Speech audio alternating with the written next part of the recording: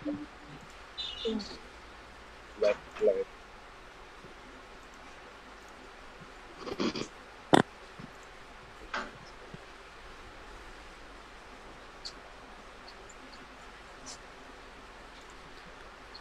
আলাইকুম রহমতুল্লাহি ওবরকাত সম্মানিত প্রিয় দর্শক মণ্ডলী, যারা এই মুহূর্তে আমাদের সাথে জয়েন্ট হচ্ছেন, সবাইকে জানাচ্ছি আন্তরিক মুবারকবাদ।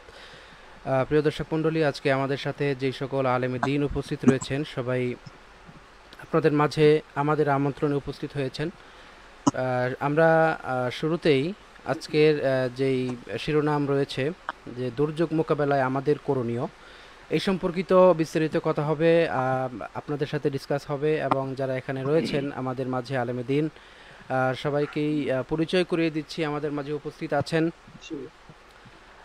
সারা বাংলার আলোড়ন সৃষ্টিকারী কারি, হাফেজ মাওলানা কারি যিনি যাকে আমরা ছোটবেলা থেকেই দেখে আসতাম টিভির পর্দায় সুমধুর কোরআন তেলাওয়াত, কোরআনের আসর শিক্ষা। জনাব হাফেজ কারি মাওলানা হাবিবুল্লাহ বেলালি সাহেব, উনি আমাদের মাঝে উপস্থিত আছেন। উপস্থিত আছেন আমাদের মাঝে আমাদের সারা বাংলার যে মিডিয়াতে আমাদের হাফেজদেরকে যে যিনি পরিচয় করিয়ে দিয়েছেন এবং পিএইচপি কোরআনের আলোর যিনি স্বপ্নদ্রষ্টা, জনাব হাফেজ মৌলানা কারি, আবু ইউসুফ সাহেব, তিনি আমাদের মাঝে উপস্থিত আছেন, এবং আমাদের মাঝে উপস্থিত আছেন আমাদের বাংলাদেশ বাংলাদেশ শুধুই নয়, সারা বিশ্বের মাঝে যিনি হাফেজদেরকে পরিচয় করিয়ে দিয়েছেন, যিনি হাফেজদেরকে আন্তর্জাতিক পুরস্কার নিয়ে আসার জন্য যে সফল চেষ্টা করেছেন হাফেজ কারি শেখ নিসার আহমদ নাসির সাহেব তিনি আমাদের মাঝে উপস্থিত আছেন। উপস্থিত আছেন আমাদের মাঝে আমাদের সারা বাংলার কবি, সারা বাংলার জাগ্রত কবি আল্লামা মহিব খান সাহেব যিনি যাকে ছোটবেলা থেকেই যার কবিতা, যার গান দেখে দেখে আমরা উদ- উদ্বুদ্ধ হয়েছি। আমাদের মাঝে উপস্থিত আছেন ঢাকা মার্কাজুল ইলমির সম্মানিত প্রতিষ্ঠাতা এবং পরিচালক, জনাব হাফেজ মাওলানা মুফতি মিজারুর রহমান খুলনার হুজুর। আমাদের সাথে উপস্থিত আছেন বাংলাদেশের জাতীয় সাংস্কৃতিক সংগঠন কলরবের প্রধান পরিচালক আবু সুফিয়ান সাহেব। এছাড়াও আমাদের মাঝে সবাই উপস্থিত আছেন, আপনারা যারা প্রিয় দর্শক যারা আছেন, সবাই আমাদের সাথেই আছেন। আমরা শুরুতেই চলে যাব। আমাদের ঢাকা মার্কাজুল ইলমির সম্মানিত আহ, প্রতিষ্ঠাতা পরিচালক জনাব হাফেজ মাওলানা মুফতি মিজানুর রহমান খুলনা হুজুরের কাছে। জি হুজুর। আসসালামু আলাইকুম ওয়া রাহমাতুল্লাহি তাআলা ওয়া বারাকাতুহু। আজকের এই ভিডিও প্রোগ্রামে আমার অত্যন্ত প্রিয় মানুষ জাগ্রত কবি মুহিব ভাই আসবেন ছোটকাল থেকে উপস্থাপক যার কথা বললেন আমরা ছোটকালে যখন স্কুলে পড়েছি শুক্রবারের ইসলামিক প্রোগ্রাম দেখতাম জুমার পরে জুমার আগে। বাচ্চাদেরকে কোরআন শিক্ষা দিতে বিলালি সাহেব হুজুর আহ, মিষ্টি মুখী আশ্চর্যমুখী মানুষ চেতনাময়ী মানুষ। যার থেকে অনেক কিছু শেখার আছে। আরও আছেন আমাদের ইউসুফ ভাই, অত্যন্ত ওনার প্রতিভাবান ভালোবাসি থেকে। যদিও কাছ থেকে ওইভাবে আমার সাথে মেলামেশা নেই, সাক্ষাৎ নেই। আর একজন আছেন আমার খুব প্রিয় মানুষ, আমি যে খুব মুজাহিদ বলি কলরবের বর্তমান পরিচালক। আছেন আমাদের বাংলাদেশ শুধু নয় বিশ্বের বুকে বাংলাদেশের কোরআনের বাংলাদেশের পতাকা সবার উপরে রাখেন স্যার ভাই অত্যন্ত ভালো লাগছে এতগুলো প্রিয় মানুষ একসাথে এভাবে পাওয়াতে আলহামদুলিল্লাহ আজকের প্রথম রমজান যেন আমার সার্থক হলো। আলহামদুলিল্লাহ, সুম্মা আলহামদুলিল্লাহ। তারপরও আল্লাহর দরবার শুক্রিয়া আদায় করি এবং সকলেরই কৃতজ্ঞতা জ্ঞাপন করি।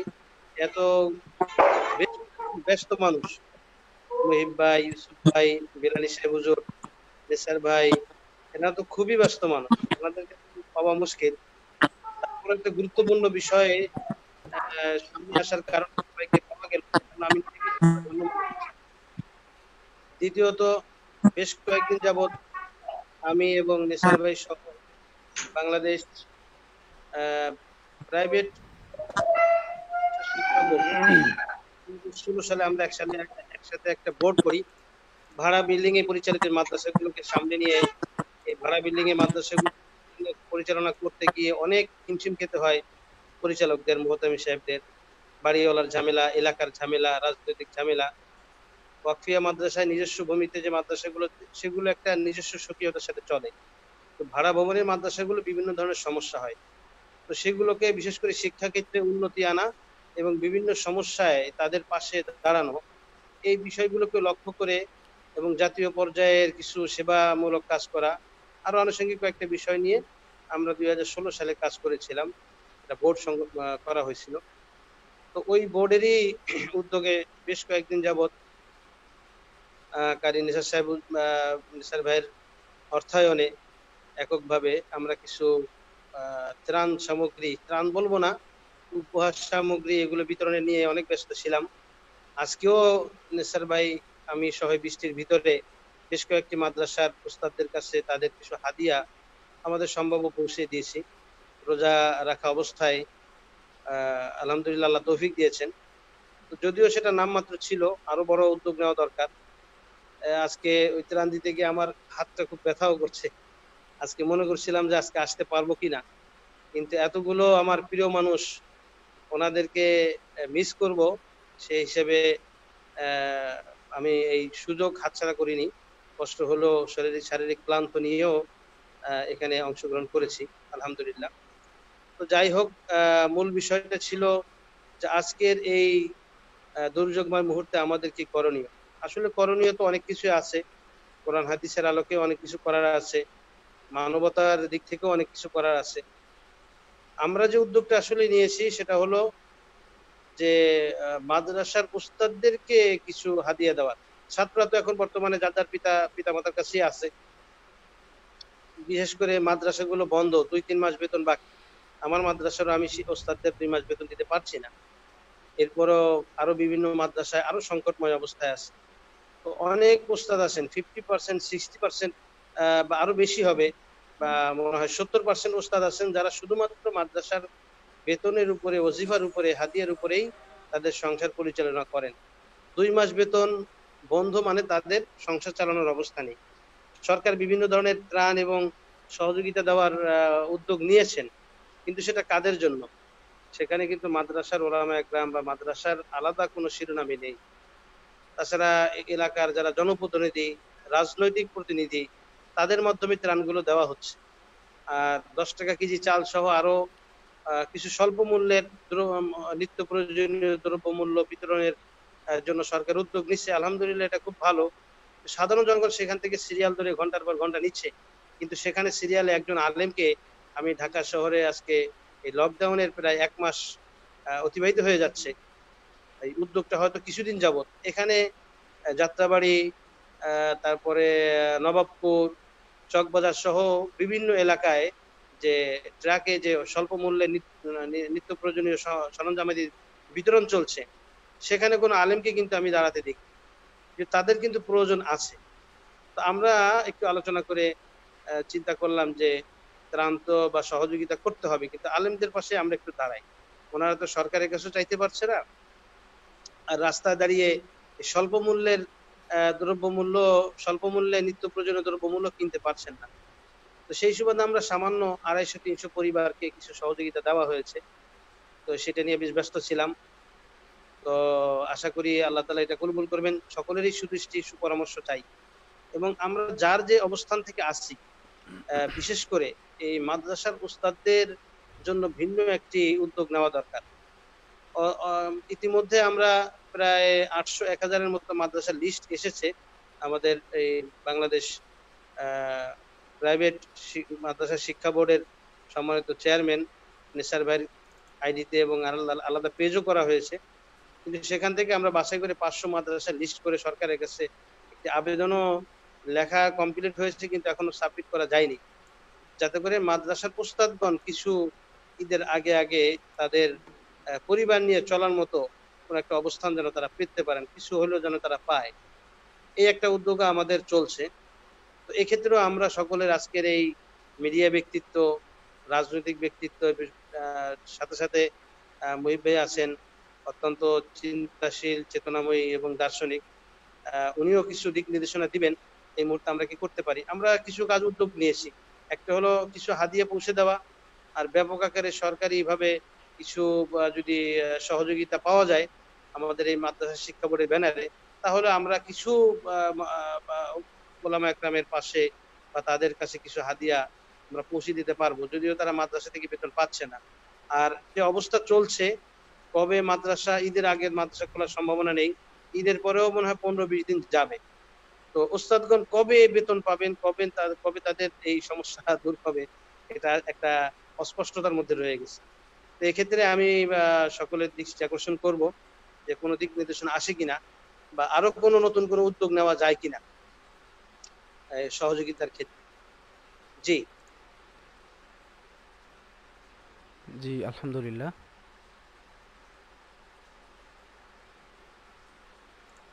জি, আলহামদুলিল্লাহ, আমরা এতক্ষণ শুনছিলাম জনাব হাফেজ মাওলানা মুফতি মিজানুর রহমান খোল্লার হুজুর সাহেবের কাছ থেকে মূল্যবান কিছু কথা।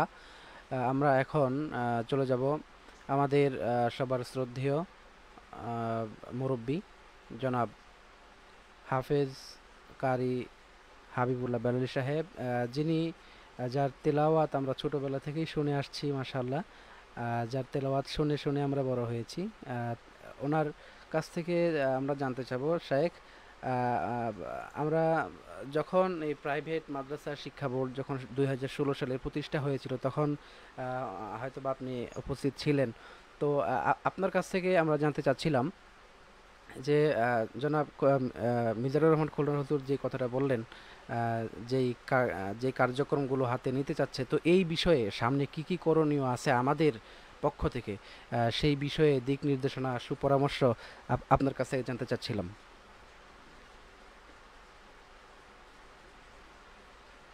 الحمد لله وكفى وسلام على عباده الذين اصطفى أما بعد وأعوذ بالله من الشيطان الرجيم بسم الله الرحمن الرحيم فاستبقوا الخيرات صدق الله العظيم সবাইকে অনেক অনেক মুবারকবাদ জানিয়ে ধন্যবাদ জানিয়ে আমি সংক্ষিপ্ত ভাবে কিছু বলতে চাচ্ছি আজকের যে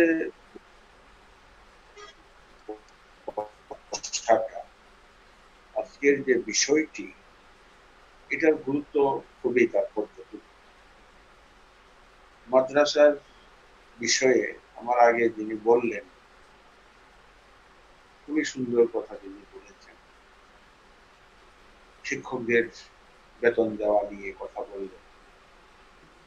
ছাত্রদের দিকটাও তিনি বলেছেন। আর একটু ব্যাপক চেয়েছিলাম যে ছাত্রদের পড়াশোনা হ্যাপস এটা এমনই একটি জিনিস, চর্চা না থাকলে পরে এটাকে কোনোভাবেই মনে রাখা সম্ভব হয় না। এটা যত বেশি চর্চা করা হয়, ততই এটা সুদৃঢ় হয়।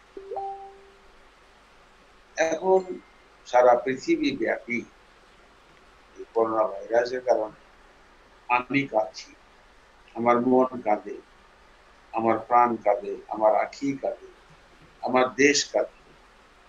গোটা পৃথিবী কাঁদছে এই কান্না থামাবে কে? এমন শক্তি পৃথিবীতে নেই। আজকে পরাশক্তি বিশেষ শক্তি, বড় বড় শক্তির দিকে লক্ষ্য করা যায়। বিরাট বিরাট শক্তি যারা মহারাজ পরাজয় সেই রাজ দেরাজ মহারাজের মতো, তারাও আজকে একটি কথা বলছে, শুধু আকাশের দিকে তাকায়। যে উপরওয়ালা ছাড়া আমাদের আর কোনো গত্যান্তর নেই। তাহলে আমাদের করণীয় কি, পালনীয় কি, বর্জনীয় কি, গ্রহণীয় কি? আর কি বা অনুকরণীয়, অনুসরণীয়, সেটাই হলো আজকের বিচার্য এবং বিবেচ্য বিষয়, আলোচ্য বটে। আমার আগে বক্তৃতা সুন্দর সুন্দর কথা বলেছে এই সুন্দর কথার সূত্র ধরে যদি আমি বলি ঠিকই, ওনার সাথে আমিও একমত। একটা সংস্থা হওয়া উচিত আলেমদের মধ্যে, হাফেজদের মধ্যে, বিশেষ করে হ্যাফ খানার হাফেজদের জন্য, ছাত্রদের জন্য। এমন একটা কিছু হওয়া উচিত যাতে ছাত্রদের, উস্তাদদের কোনো সমস্যার দিকে তাদের তাকাতে না হয়। একটি সংগঠন ছাড়া কোনো কালেই কেউ উপরে যেতে পারে যদি আমরা সেই লাইনটা চিন্তা করি, তাহলে এখন আমাদের করণীয় যে জিনিসটি সেটাই হলো, শুধু আলেমুল আমাদের জন্য নেই না, আমরা এই হাফিজদের এমন একটি শক্তিশালী সংগঠন হওয়া উচিত। আমার আগের বক্তা ইশারা দিয়েছেন যে সরকারি ভাবেও যদি কিছু করা যায়, কেন যাবে সরকার তো আমাদেরকে ছেড়ে না। আমাদের নিয়েই তো সরকার। সরকারকে বোঝাতে পারলে আলবত অনেক কিছু পাওয়া যায়। সরকারকে বোঝাতে হবে। সরকারকে বোঝাতে পারলে অনেক কিছু হবে। তারপরে আমাদের একজন সুযোগ্য ধর্ম প্রতিমন্ত্রী এখন যারা শেখ আবদুল্লাহ, খুবই ভালো মানুষ। সবার মানুষের হৃদয়ে তিনি প্রবেশ করতে পারেন। মানুষের দুঃখ দুর্দশা বুঝে কিছু করতে পারেন, করার ইচ্ছা তার আছে। তার সাথেও প্রয়োজন বুঝে আপনারা যোগাযোগ করবেন। আমাদেরকেও যদি আপনারা প্রয়োজন মনে করেন, কাজে লাগাতে পারেন, আমরাও চেষ্টা করব। যদি এর মনটি হয়, তাহলে ইনশাআল্লাহ খুব বেশি কষ্টের কিছু হবে না। আল্লাহর পক্ষ থেকে সাহায্য আসবে। আর রমজান মাস, বরকতের মাস, রহমতের মাস, নাজাতের মাস, ফয়সালার মাস, এই রমজানে আসুন না আমরা সবাই মিলে। আমাদের আলেমদের ভিতরে আলহামদুলিল্লাহ এমন বহু লোক আছে। আমার খুব ঘনিষ্ঠ বন্ধু কয়েকজনের নাম এই মুহূর্তে মনে পড়ছে। যেমন উনি একজন এমপি এবং প্রিমিয়ার ব্যাংকের ভাইস প্রেসিডেন্ট বা প্রিমিয়ার ব্যাংকের একজন পরিচালক যারা পি এস হারুন সাহেব, আমার খুব বন্ধু মানুষ আমরা একসঙ্গে মাদ্রাসা ঢাকাতে ছিলাম হোস্টেলে সুদীর্ঘ সাত বছর। আমার আরেকজন বন্ধু আলারাফা ইসলামী ব্যাংকের কয়েকজন মালিকের মধ্যে একজন হাফেজ এনায়ে হাফেজ কিন্তু আমরা একসঙ্গে পড়াশোনা করেছি। পড়াশোনা শুরু করিনি তা আমার এমন ঘনিষ্ঠ বন্ধু যে ওর আম্মা আমাকে আদর করতেন, তখন ভালো তরকারি টরকারি পাঠাতো, চুপচাপ আমি গিয়ে বলতাম। তো এসে খেতে এসে যখন বড় মাছটা, দুধের মালাইটা সে পেত না, তখন সে সন্দেহ করতো, যা, এটা আমার কাজ, আমি এত ঘনিষ্ঠ বন্ধু। আল্লাহ তাকে অনেক দিয়েছেন। এই ধরনের কিছু লোকদেরকে আরও অনেক আছে, অনেক এই মুহূর্তে আমার সবার নাম তো মনে পড়ছে না সবার নাম বলতে আমার সারা রাত লাগবে সেটা সম্ভব হবে। এরকম অনেক আছে তাদের কাছে আমাদের যেতে হবে কথা বলতে হবে আমরা যদি এটাকে নিয়ে ভালোভাবে কাজ করতে চাই তাহলে আশা করি যেমন আহ, আমাদের অত্যন্ত আদরের অত্যন্ত মহব্বতের নেসার সাহেব উনি আমাকে রাজি ঘুরিয়েছেন আজকে আপনাদের সাথে কিছুটা খেদমতে শরিক হতে তা না হয় রমজানে রোজা রেখে আজকেও বেশ অনেকগুলো মিডিয়াতে আমার প্রোগ্রাম করতে হয়েছে।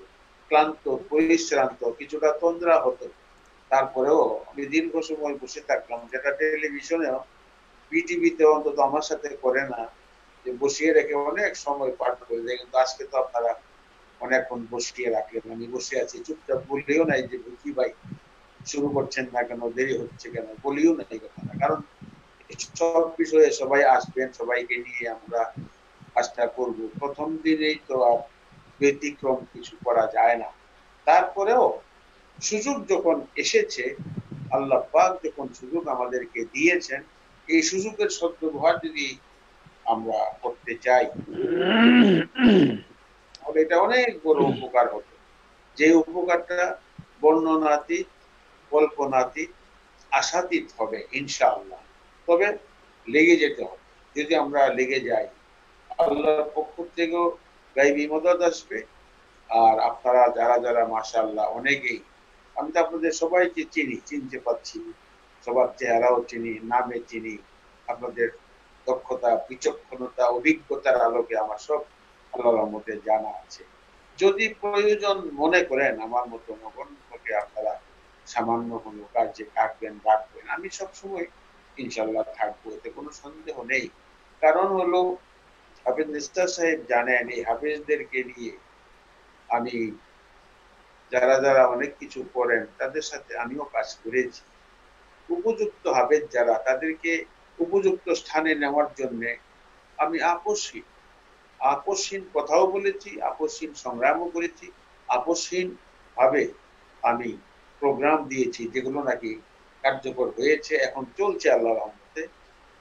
এগুলি তো আর বলার কথা না সব কথা তো আর এই আপনাদের যে মাধ্যমটি, সেটার মাধ্যমে সব কথা তো বলা যায় না। এখন তো সব থেকে সারা দুনিয়ার মধ্যে এই যে মাধ্যমটা আপনারা আজকে নতুন ভাবে শুরু করলেন, এটা অনেক বড়।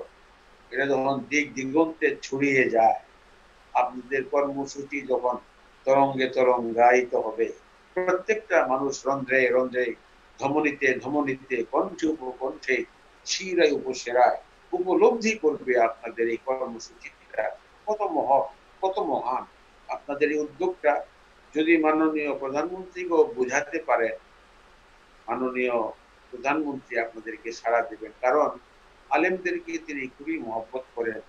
যার জীবন্ত জ্বলন্ত প্রমাণ হচ্ছে আমাদের সবারই শেখ আহমদ শফি সাহেবের যে নেতৃত্বে একটা বিরাট জমায়েত হয়েছিল ওইটাও স্মরণ করা যায়। আবার এখন ধর্ম প্রতিমন্ত্রী যিনি আছেন জনাব শেখ আবদুল্লাহ, ওনারও উদারতা, আন্তরিকতা, স্নেহ, মায়া, মমতা, ভালোবাসা আলেমদের প্রতি অনেক রয়েছে। তাদের কাছে আপনাকে আমাকে যেতে হবে। যে জিনিসটা যে আমরা এটা শুরু করতে যাচ্ছি, কি করা যায়? রমজান মাস, রহমতের আপনারা ওলামা হজরত এখানে বসা হাদিসের সেই এবারত দিয়ে বোঝাতে হবে না। রহমত তো শুরু হয়ে গেল। এই রহমতের ভিতরে যা কিছু করার আমার মনে হয়, দেরি না করে দ্রুততর, শুধু দ্রুত নয়, দ্রুততর যদি কাজ শুরু করেন ইনশা আল্লাহ আল্লাহর পক্ষ থেকে বরকত আসবে, এটা আমার দৃঢ় বিশ্বাস। আপনাদের সবারই কিছু কিছু ভূমিকা যদি থাকে, কথা থাকে সাজেশন থাকে, তাহলে সবার পরামর্শের মাধ্যমে এগিয়ে নেওয়া যাবে। কারণ এক একজনের চিন্তা এক এক রকম।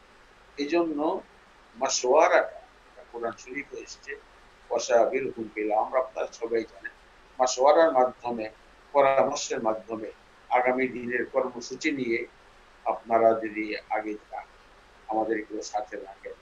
সবাইকে যদি আপনারা কাছে নিয়ে নেন, তাহলে ইনশাআল্লাহ এই হাফেজ যারা, হাফেজদের খেদমত করাটা, আজকে মনে করেন আজকেই আমি একটা মিডিয়াতে আলোচনা করেছি যে কাগজে লেখার কোরআন যদি কেউ ষড়যন্ত্র করে দুনিয়ার জমিন থেকে নিশ্চিহ্ন করে দেয় অগণিত হাজার না, লক্ষ না, কোটি কোটি হাফেজ যাদের অন্তরে এই কোরআন এসেছে, তাদেরকে কি বলবে? তাদেরকে কিছুই করা যাবে এই কোটি কোটি কোরআন যারা এই কণ্ঠস্থ করেছেন হৃদয়ের মধ্যে রেখেছেন তাদের বরকত, তাদের জন্য কিছু করলে আল্লাহ পাক নিজে আমাকে আপনাকে সাহায্য করবে। এই জন্য ছোট্ট একটি আয়াত এটা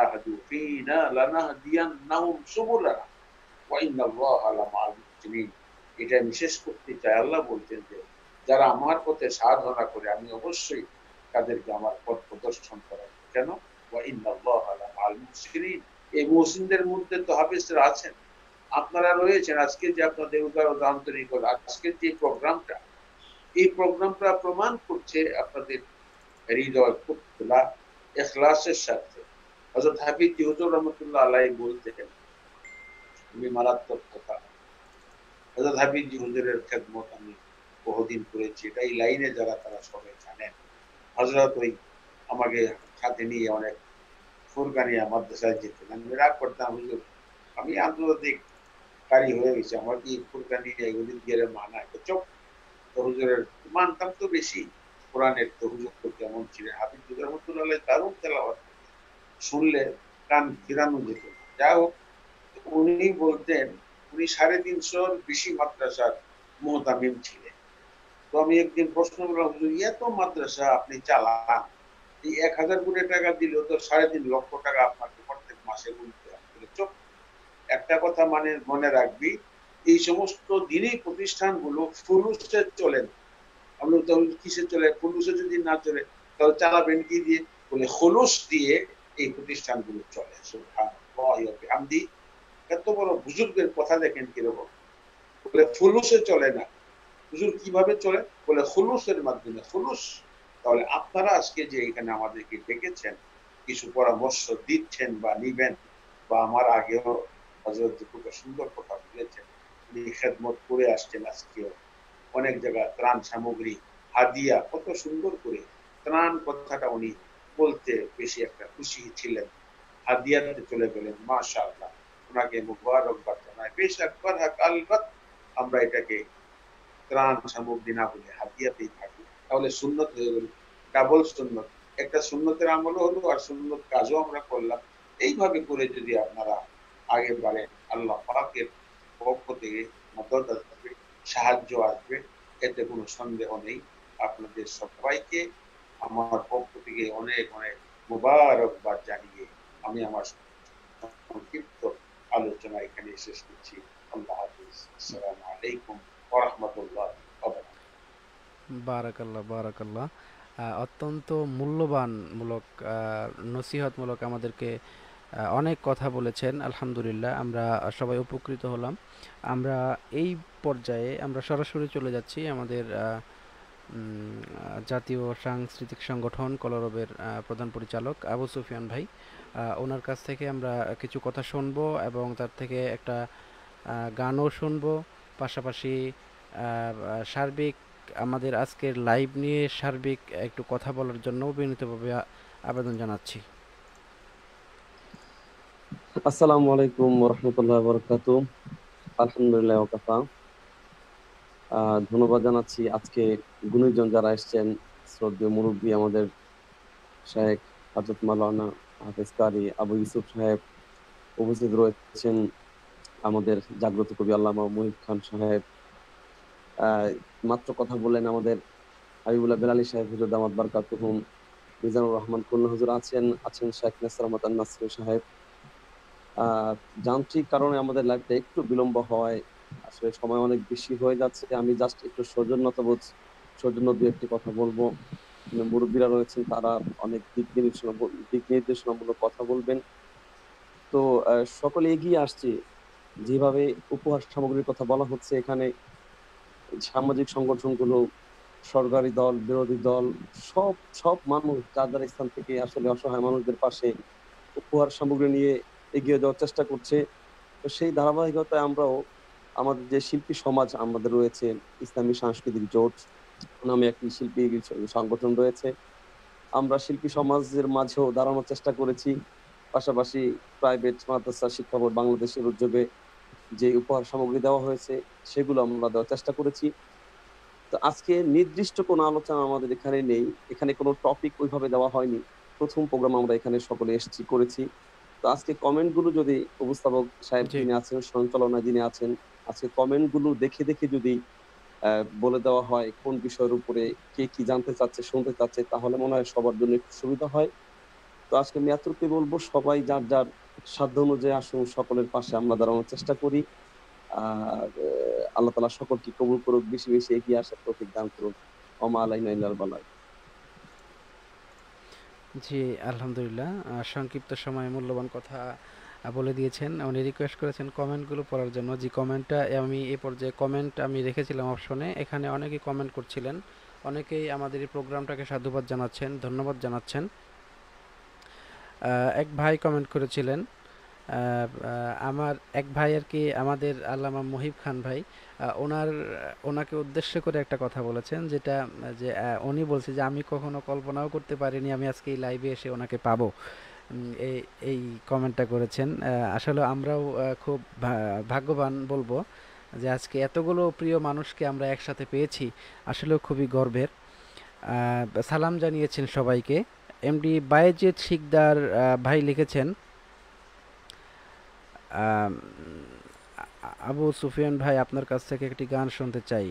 আরেক ভাই কমেন্টে লিখেছেন আমাদের আল্লামা মহিব খান সাহেবের কণ্ঠ থেকে একটি গান শুনতে চাই। জি, ইনশাল্লাহ, যেহেতু আমাদের মাঝে সবাই প্রিয়রা আছেন, ইনশাল্লাহ কিছু না কিছু আমরা শুনতে পাবো। জোনায়েদ ভুঁইয়া লিখেছিলেন যেখানে আইনজীবীরা প্রণোদনা পায়, সেখানে আমরা কেন পাবো না? আর এমনও স্টুডেন্ট আছে যারা তারাবির টাকা দিয়ে পরের এক বছরের পড়াশোনা খরচ যোগায়। তাদের দায়িত্ব কে নেবে? একটি প্রশ্ন করেছেন, সুন্দর একটি প্রশ্ন। এই প্রশ্নটা আমরা সরাসরি, এই প্রশ্ন সম্পর্কে আমরা জানতে চাবো আমাদের যিনি এখানে আছেন, আল্লামা মহিব খান সাহেব। ওনার কাছ থেকে এই প্রশ্নের উত্তরটা একটু জানতে চাই। ওনার এই বিষয়ে ওনার মন্তব্য কি?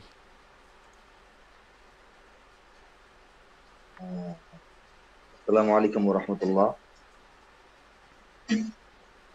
إن الحمد لله والصلاة والسلام على رسول الله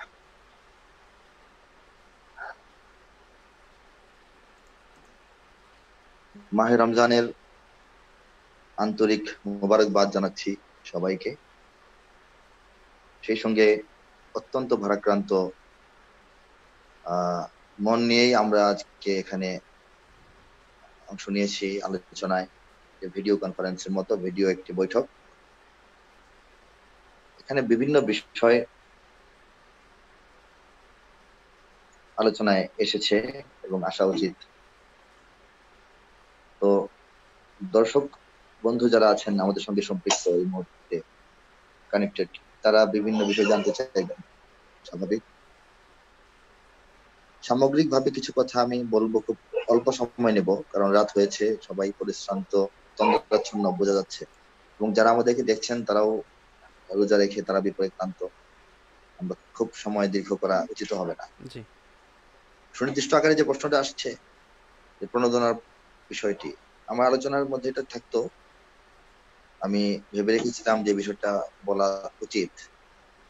কারণ রাষ্ট্রের মূল চালিকা শক্তিগুলিকে টিকে রাখার জন্য বিভিন্ন খাতে জরুরি অবস্থাকালীন বা আপৎকালীন প্রণোদনা দেওয়া হচ্ছে বা দেওয়ার জন্য কিছু আলাদা ব্যবস্থা আগে থেকেই রাষ্ট্রের হাতে থাকে, কখন কি অবস্থায় দেশ পড়ে বলা যায় সেটা থেকে আমাদের পোশাক শিল্পের জন্য, আমাদের অর্থনীতিকে চাঙ্গা রাখার জন্য আরও বিভিন্ন খাতে আমাদের এই যে এখন মৌসুমী ফসল কেটে যেন ঘরে তোলা যায়, এর সুফল যেন দেশবাসী পায়, খাদ্য ঘাটতিতে যেন আমরা খুব চরম ভাবে না পড়ে যাই। এই জন্য আলাদা কিছু বাজেট এরকম হচ্ছে। আমাদের যারা ওলামায়ে কেরাম বা আমাদের মাদ্রাসা শিক্ষার সঙ্গে জড়িত যে উপকরণগুলো মাদ্রাসা শিক্ষক ভাড়ায় চালিত মাদ্রাসা সেখানে খরচের বিষয়, ছাত্রদের অবস্থা, সবকিছু যদি নাও হয়, অন্তত হিফজ, হিফজের জন্য যে মাদ্রাসাগুলো বাংলাদেশে আছে, যারা হিফজের ছাত্র, রব্বুল আলমিনের মহান কিতাব, মহান গ্রন্থ, মহান বার্তা আল কুরআনুল করিমকে হেফাজত করার দায়িত্ব যাদের উপর, এটা চর্চার দায়িত্ব যাদের উপর, তাদের বিষয়ে সরকারকে ভাবা উচিত, বিশেষভাবে চিন্তা করা উচিত, তাদেরকে চিন্তা করানো উচিত। হয়তো স্বাভাবিকভাবে তাদের চিন্তায় বিষয়টা আসবে না বা এখন হয়তো আসেনি এখন পর্যন্ত। আসবে না যে তা নয়।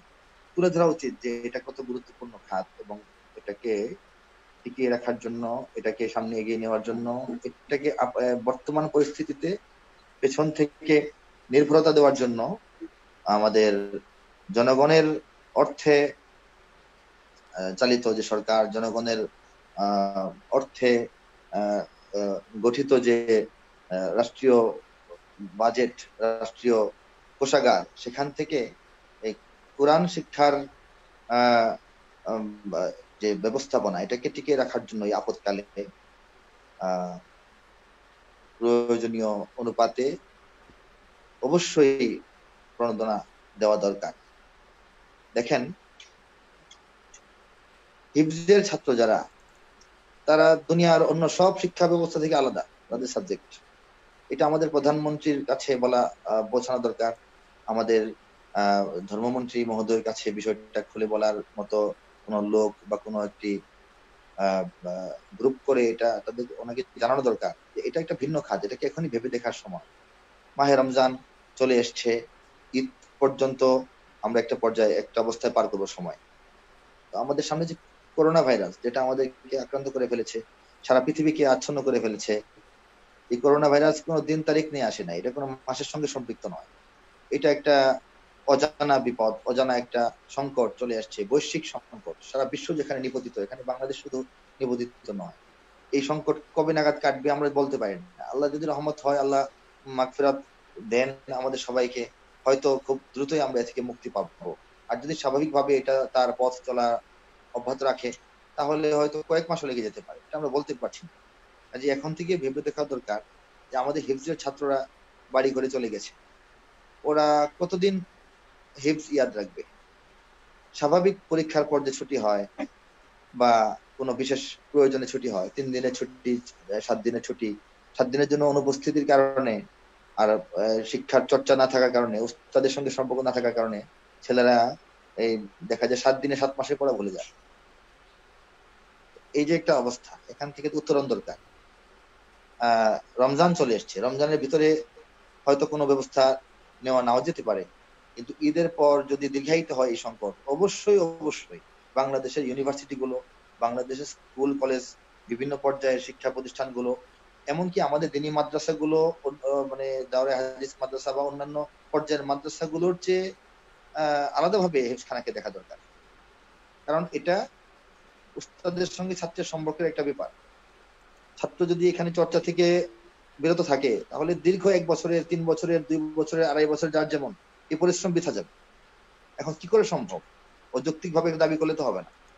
সেটার কিছু নির্দেশনা আমাদের বের করে নিতে হবে। এখানে দেখেন হেফখানার যারা শিক্ষক, যারা কর্তৃপক্ষ তাদের এখন এক তো হচ্ছে তাদের যে ধ্যান, খেয়াল, তাদের যে আসল কাজ, তাদের যে চর্চার বিষয়, সেটা যখন থমকে গেছে, তারা তো এমনিতে আহত। এটি তাদের সবচেয়ে বড় হৃদয়ের ক্ষরণ, রক্তক্ষরণ। আর পাশাপাশি যেটা নাগরিক হিসাবে সবাই যে অবস্থার শিকার, সেটা হচ্ছে যে, আর্থিকভাবে তারা এখন দুর্নীতিগ্রস্ত হয়ে যাবেন। সামনে ঈদ কতদিন পর্যন্ত এই অবস্থা যায়। এখানে আপদকালীন একটা ব্যবস্থা চিন্তা করতে হবে, জরুরি ভিত্তিতে এখন কি করা যায় এই মুহূর্তে।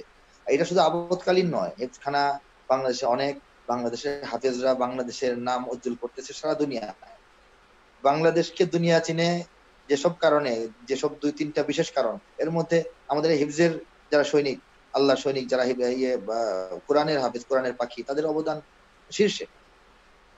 এটা স্বীকার করা উচিত। তো আমরা এখন একটা ফান্ড করতে পারি, আমরা প্রচার প্রচারণায় নামতে পারি, আমরা দেশ বিদেশ থেকে যারা আগ্রহী, যারা দিনদার, যারা নেককার, যারা উৎসাহী, যারা সমজদার তাদের কাছে আমরা চাইতে পারি আমরা ফান্ড গঠন করে হাদিয়া আকারে পৌঁছাতে পারি। এটা তো আহ, এই মুহূর্তে জরুরি কিন্তু এটা দিয়ে সব মানে পুরোটা সময় কাটবে না কারণ সময়টা কতদিন লাগবে ঠিক নাই। এই মুহূর্তে একটা কাজ করা যেতে পারে বা এটা কীভাবে করা যেতে পারে এটা ভাবা দরকার। এটা হচ্ছে যে অন্তত হিফখানা গুলো কীভাবে চালু রাখা যায়। রমজানের ভিতরেই না হোক রমজানের পর থেকে একেবারে ইমিডিয়েট ঈদের পর পর থেকে হেফখানা গুলো বাংলাদেশে কীভাবে চালু রাখা যায়, কোরআন হেফাজতের আহমিয়ত গুরুত্ব, তাৎপর্য অনুভব করে।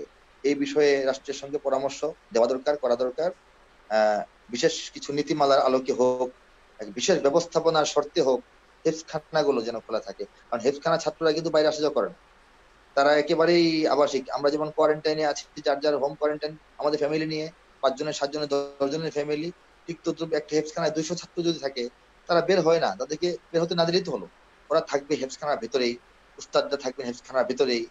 এখান থেকে চলার জন্য যে বাইরে আসা যাওয়াটা করতে হয়, এটা নির্দিষ্ট কিছু ব্যক্তি, কিছু কর্মচারী, দায়িত্বশীল মানুষেরা বাইরের সঙ্গে যোগাযোগ করবেন সম্পূর্ণ নিয়মতান্ত্রিক ভাবে সম্পূর্ণ স্বাস্থ্যবিধি মেনে এবং ছাত্র শিক্ষকদের থেকে পৃথক থেকে। এভাবে হলেও যদি সমস্ত হেফখানার জন্য এটা মেনে চলা সম্ভব না হয় যারা এই সব বিধিমালা বা নীতিমালার আয়োজনটুকু দেখাতে পারবে যে আমরা করতে পেরেছি, অন্তত তাদেরকে যেন সরকার সুযুক্ত করে দেয়। ঠিক আছে, আপনারা আপনার শিক্ষা কার্যক্রম চালিয়ে যান। এবং গার্জিয়ানরাও চিন্তিত আছেন যে আমাদের ছাত্ররা, আমাদের সন্তানরা এতদিনের মেহনত তাদের ভুলে যাচ্ছে। তারাও তখন আশ্বস্ত হবে যে, না, মাদ্রাসায় ঢুকাই দিলাম। এখানে কঠোর ব্যবস্থা নেওয়া হয়েছে। এখানে স্বাস্থ্য বিধি মেনে চলা হচ্ছে। আমার বাসায় থাকার মধ্যে সে আছে। তার পড়াটা চলতেছে। এবং মাদ্রাসা যখন চলবে, তখন এই ছাত্রদের যে বেতনটুকু অ- অভিভাবকরা দিয়ে থাকেন, তারা কোনো কার্পণ্য বা ইতস্তত করবেন না। যেহেতু মাদ্রাসা চালু- আছে, তারা বেতন চালু রাখবেন। বেতন যখন চালু থাকবে, তখন তাদের শিক্ষকদের উপায় অবলম্বন হয়ে যাবে। কিন্তু মাদ্রাসা বন্ধ, ছাত্ররা কোরআন ভুলে যাচ্ছে, শিক্ষকরা হতাশাজনক অবস্থায় পড়েছেন। আপনি না হয় ঈদ পার করলেন, এই করোনা যে ঈদের পরে ভালো হয়ে যাবে, আমরা কীভাবে বলব? যদি তিন মাস থেকে ছয় মাস দেরি করে লেট হয়, সেই সময়টা তাদেরকে বারবার কতবার প্রণোদনা দেওয়া যাবে? সরকারি বা কীভাবে কতবার দিতে পারবে? আর আমরাই বা কীভাবে এটা চালিয়ে নিতে পারব তাদেরকে? এই জন্যে আমাদের প্রথমত চিন্তা করা দরকার প্ল্যানিং করা দরকার, সরকারের কর্তৃপক্ষের সঙ্গে এই বিষয়টা আলোচনা করা দরকার যে হেফখানা যেহেতু একটা নির্ধারিত মানুষের একেবারে সেফ একটা জায়গা এটাকে আরও সেফ করে নেওয়ার জন্য কিছু নীতিমালা, শর্তাবলী মেনে নিয়ে হেফখানা গুলো চালু করতে পারি কিনা আমরা। যে, যেসব হেফখানা তাদের স্থান, তাদের পরিবেশ, তাদের ব্যবস্থাপনার আলোকে এই শর্তগুলো পালন করতে পারবে। যদি তারা সাবমিট করে যে হ্যাঁ আমরা এই ব্যবস্থাপনা নিয়েছি এবং কঠোরভাবে পারব প্রয়োজনীয় ইন্সপেকশন করে তাদেরকে সেই অনুমতিটা দিয়ে দেওয়া যায়। ঠিক আছে, ছাত্রদেরকে ডাকেন, ছাত্ররা চলে আসুক, আপনারা কার্যক্রম চালিয়ে যান। তাহলে শিক্ষকদেরও একটা উপায় হয়ে যায়, ছাত্রদেরও উপায় হয়ে যায়। কোরআন ভোলার সম্ভাবনাও থাকে না। এটা হচ্ছে এই মুহূর্তে আমার মনে হয় দরকার। আর সামনে যেহেতু ঈদ, আর তাৎক্ষণিক এখনই আমাদের আলোচনার সঙ্গে সঙ্গে তো হেডখানা করে দেওয়া হচ্ছে না। হবে কিনা তাও জানা নাই। এখন আমাদের যারা কোরআনের খাদেম আছেন, আমাদের প্রাণের প্রিয়তম মানুষ তারা তারা বাংলাদেশকে মর্যাদার আসনে বসিয়েছেন। তারা আমাদের সন্তানদেরকে কোরআনের পাখি বানাচ্ছেন। তাদেরকে হাদিয়া দেওয়া ব্যবস্থা করা উচিত। সেটার জন্য কি করা যায় সবাই মিলে চিন্তা করে, পরামর্শ করে আস্তে আস্তে আমরা খুব দ্রুত দেরি না করে আগাই। এটাও আমার একটি পরামর্শ। আর এই যে সংগঠন, এটা আমাদের হিফজখানা হিফজের যে বিশাল পরিসর, বাংলাদেশে প্রচুর হিফজখানা, প্রচুর হাফেজে হাফেজে কোরআন, প্রচুর প্রতিষ্ঠান কর্তৃপক্ষরা চালাচ্ছেন। এই সমস্ত হাফেজদেরকে, আলেমদেরকে, তাদের প্রতিষ্ঠান সহ একটা ছায়াতলে আসার একটা, আহ পতাকা তলে আসার মতো ব্যবস্থা যদি করা যায়, খুবই ভালো হয়।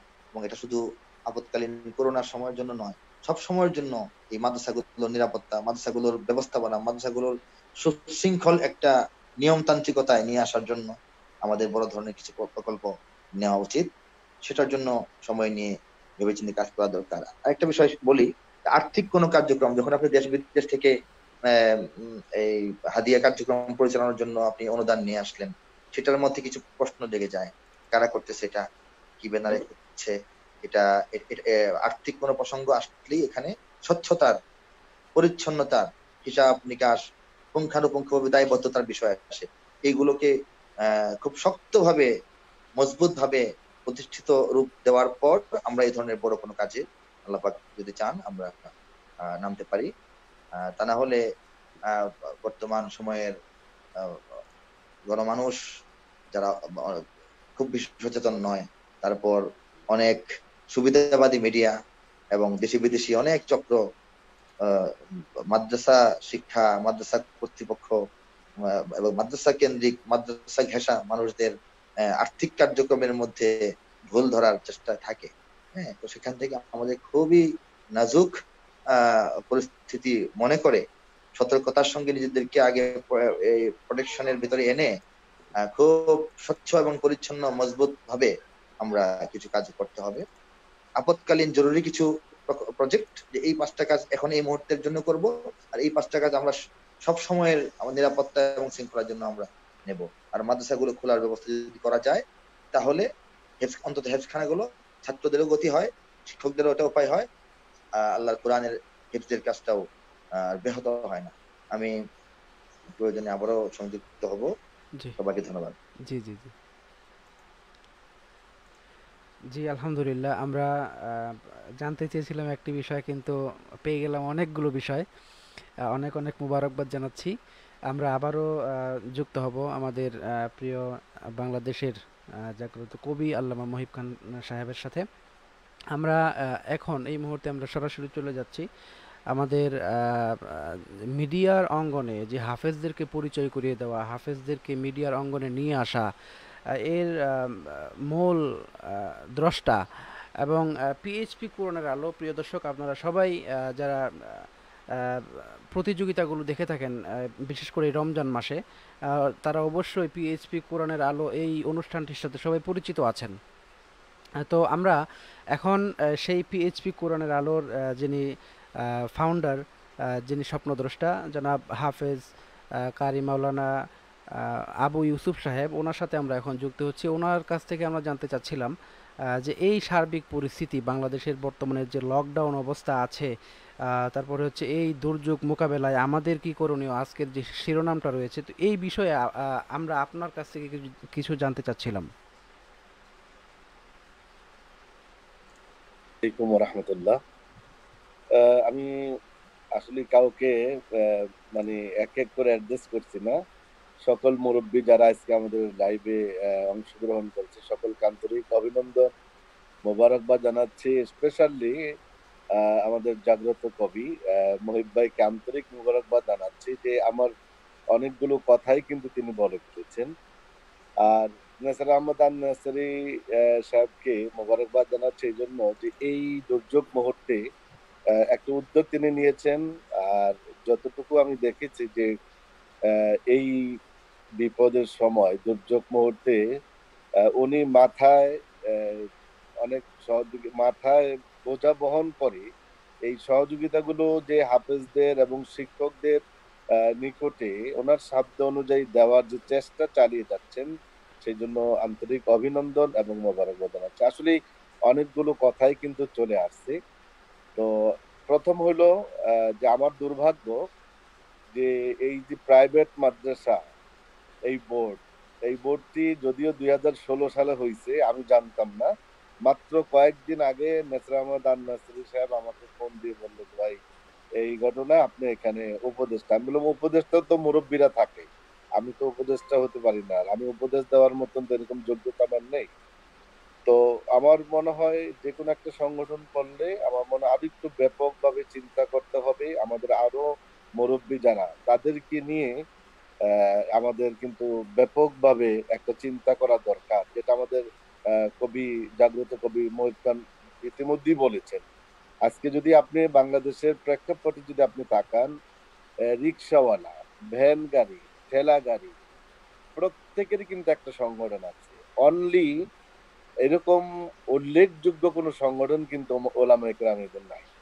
আর বিশেষ করে এই যে হিপস মাদ্রাসাগুলো এবং আমাদের ওলামা একরাম কেন জানি আমাদের মধ্যে খুব বেশি সংকীর্ণতা।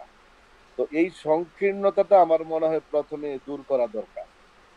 এটা আমি সহকারী বলছি যে অন্তত পক্ষে আমরা একজন যদি কোনো ভালো কাজ করি, তাহলে এই ভালো কাজকে অন্তত পক্ষে সহযোগিতা না করতে পারলেও তার প্রশংসা করা দরকার, তার জন্য দোয়া করা দরকার, তার বিরোধিতা নয়। তো যেইটা আমাদের মধ্যে এখন দেখা যাচ্ছে যে একজন একটা ভালো কাজ করলে সমালোচনাটা বেশি হয়, যে এখন ভণ্ডামি শুরু করেছে। এই ধরনের অনেকগুলো কমেন্টস কিন্তু আমরা আমাদের মধ্যে করি। আজকে আমরা পিছিয়ে আছি কেন? আজকে একজন নেসার আহমদ আর নাসিরি কেন? আর কি কোনো মানুষ নেই। আমাদের ওলামার গ্রামদের মধ্যে আজকে সবাইকে আমরা সাহায্য প্রাপ্ত সবাইকে আমরা সরকারের কাছে হাত পাততে হবে, সবাইকে আমরা যে অর্থনৈতিকভাবে অসচ্ছল আমাদের, আমি বলব না। আল্লাহর মেহেরবানি, এটা আমি গর্ব করে বলতে পারি, বাংলাদেশের অনেক ওলামা কেরাম আল্লাহ রব্বুল আলমিন অর্থনৈতিক সচ্ছলতা অনেককে আল্লাহ পাক রব্বুল আলমিন দিয়েছে। তাহলে আমাদের সচ্ছল ওলামা কেরাম যারা আছে, আমাদের উল্লেখযোগ্য একটা ভূমিকা তো বর্তমান প্রেক্ষাপটে রাখা দরকার। আজকে আমরা অনেকেই অনেক ওলামা কেরামকে শোনা যাচ্ছে যে রোহিঙ্গাদের এখানে আমরা এত লক্ষ টাকা দিয়েছি। কই, আজকে যে এক দেড় বা দুই মাস হয়ে গেল। তো এরকম কোন মেসেজ তো আসলো না যে আমি এতজন ওলামাই কেরামকে বা এত লক্ষ টাকার একটা অনুদান আমি দিয়েছি। আমরা তো এই জিনিসটা আমরা করতে পারলাম না। তো আমার মনে হয় যে আমাদের মধ্যে যারা আছে, আল্লাহ রব্বুল আলমিন যাদেরকে সচ্ছলতা দান করেছেন, আমাদের আরও এগিয়ে আসা দরকার। এবং হিপস প্রতিষ্ঠান নয়। আমি মনে করি সকল মাদ্রাসাগুলোর শিক্ষা প্রতিষ্ঠানে যারা দায়িত্বরত রয়েছে, আমরা তাদের স্যালারির দিকে যদি তাকাই, তাহলে খুব কম। কিন্তু আল্লাহ রব্বুল আলমিন তাদের এই কম স্যালারির মধ্যে কিন্তু অগণিত বরকত আল্লাহর পক্ষ থেকে দিচ্ছে। এটা আল্লাহর শুকুর আদায় করে আমরা ওনামে একরাম গুণ শেষ করতে পারব না। মসজিদের একজন ইমাম কত টাকা স্যালারি পান? কিন্তু তার চলাফেরা এবং তার সাংসারিক এবং সব কিছু যে আমাদের যে যে চলাফেরার যে স্টাইল আল্লাহর মেহেরবানি যে একজন কোটিপতি বা সচ্ছল ফ্যামিলির চেয়ে কোনো অংশে কিন্তু কম পোশাক বলেন, বাজার বলেন খাওয়া দাওয়া বলেন ছেলে মেয়েদেরকে টেক কেয়ার বলেন, সব দিকে কিন্তু আমরা আছি। তো আমার অনুরোধ থাকবে যে আজকের এই প্রোগ্রামগুলো যারা দেখছে আমি মনে করি যে আমাদের মধ্যে এগিয়ে আসা দরকার। আর নেসার আহমদ আর নাসারিকে আমি অনুরোধ করব যে আপনি আরেকটু ব্যাপকভাবে আমাদের আরও যারা মুরব্বীরা আছে যেহেতু বিরোধিতার লোকের কিন্তু অভাব নাই। কিন্তু বিরোধিতা করবে না, এই সংখ্যাটা খুব কম। তো সেই জন্য আমার মনে হয় যে তাদেরকে নিয়ে যদি আপনি আরও পরামর্শ করেন, এরপরে আমাদের আমার ভাই যেটা বললেন যে আমরা সরকারের কাছে চাইতে পারি। মাননীয় প্রধানমন্ত্রী এর আগে আমি দুই একটা অনুষ্ঠানে সবসময় বলি, আসলে আমার মনে হয় যে তার আন্তরিকতার অভাব নেই, কিন্তু তার কাছে যাওয়া। এখন আপনি, আমরা গেলাম। আবার আরেকজন বলল যে, আমরা তো আরও দুই বছর ইয়া, তিন বছর নয়, আমরা দুই হাজার পাঁচ সালে আমরা একটা ভোট করছি। আবার উনি যখন যাবে আরেকজন বলবে, আমরা আরও দুইটা ভোট করছি। এটা আমি আজকে বলার কারণ হলো যে, এই মানে এই বেশ কয়েক মাস আগে একজনের সাথে আমার দেখা হইল কি? যে, আমি প্রাইভেট মাদ্রাসা একটা বোর্ড আছে ওটার সেক্রেটারি আমি বললাম যে বোর্ড আছে, কতটা মাদ্রাসা অ্যাটেন্ড করছে? যে, আছে অল্প করে পঞ্চাশ ষাটটা তো পঞ্চাশ ষাটটা মাদ্রাসা নিয়ে একটা বোর্ড হয়? তাহলে যদি এরকম হয়, তাহলে আরেকজনের একশোটা নিয়ে করবে আরেকজনের ষাটটা নিয়ে করবে আরেকজনের দুইশো নিয়ে করবে। তাহলে যদি এইভাবে বোর্ড করতে হয় মানে যদি সবাই এইভাবে যদি কমিটি করতে থাকে, তাহলে এটা আমাদের সংগঠনটা কীভাবে কি হবে? আর আমরা বা সরকারের কাছে জোরালো কোনো দাবি কীভাবে আমরা করব? তাই আমি মনে করি যে এই জিনিসটাকে আরও শক্তিশালী করার জন্য আরও পরামর্শ করেন। এরপরে আপনারা অ্যাপ্লিকেশন দেন। যে এই মুহূর্তে আমার মনে হয় যে আমরা মাত্র কয়েকজন বা আরও কিছু লোকজন আপনার আছে, যে এদেরকে নিয়ে রাষ্ট্রীয়ভাবে কোনো বড় কিছুতে হাত দেওয়া বা বিদেশে কোনো কিছু সহযোগিতার জন্য হাত পাতা, এটা আমার পার্সোনালি আমি বলতেছি এটা ঠিক হবে না। আর যেহেতু মাননীয় প্রধানমন্ত্রী এবং আমাদের ধর্ম মন্ত্রণালয়ে আছে, আমরা অন্তত পক্ষে আমাদের মুরব্বী যারা আছে, তাদেরকে নিয়ে একটা অ্যাপ্লিকেশন করতে পারি। যেহেতু মাননীয় প্রধানমন্ত্রী কিন্তু ইতিমধ্যে মোটামুটি যে একটা বৈশাখী ভাতা তিনি কিন্তু ঘোষণা করেছেন সরকারি কর্মচারী, কর্মকর্তা যারা আছে। তো মাননীয় প্রধানমন্ত্রী ইচ্ছে করলে এই কোরআনের হাফেজ, এর আগে আমার এক ভাই যারা মিজানুর রহমান হয়তো তিনি বললেন বা আমাদের উপস্থাপক তিনি বলেছিলেন যে একজন কোরআনের হাফেজ তিনি এই যে তারাবির হাদিয়া দিয়ে সারা বছর তার লেখাপড়ার খরচ চালায়।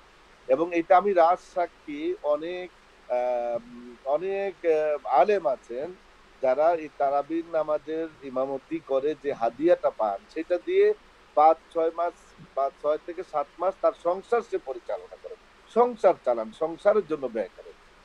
যদি মাননীয় প্রধানমন্ত্রী, অবশ্যই তিনি সদয় হবেন।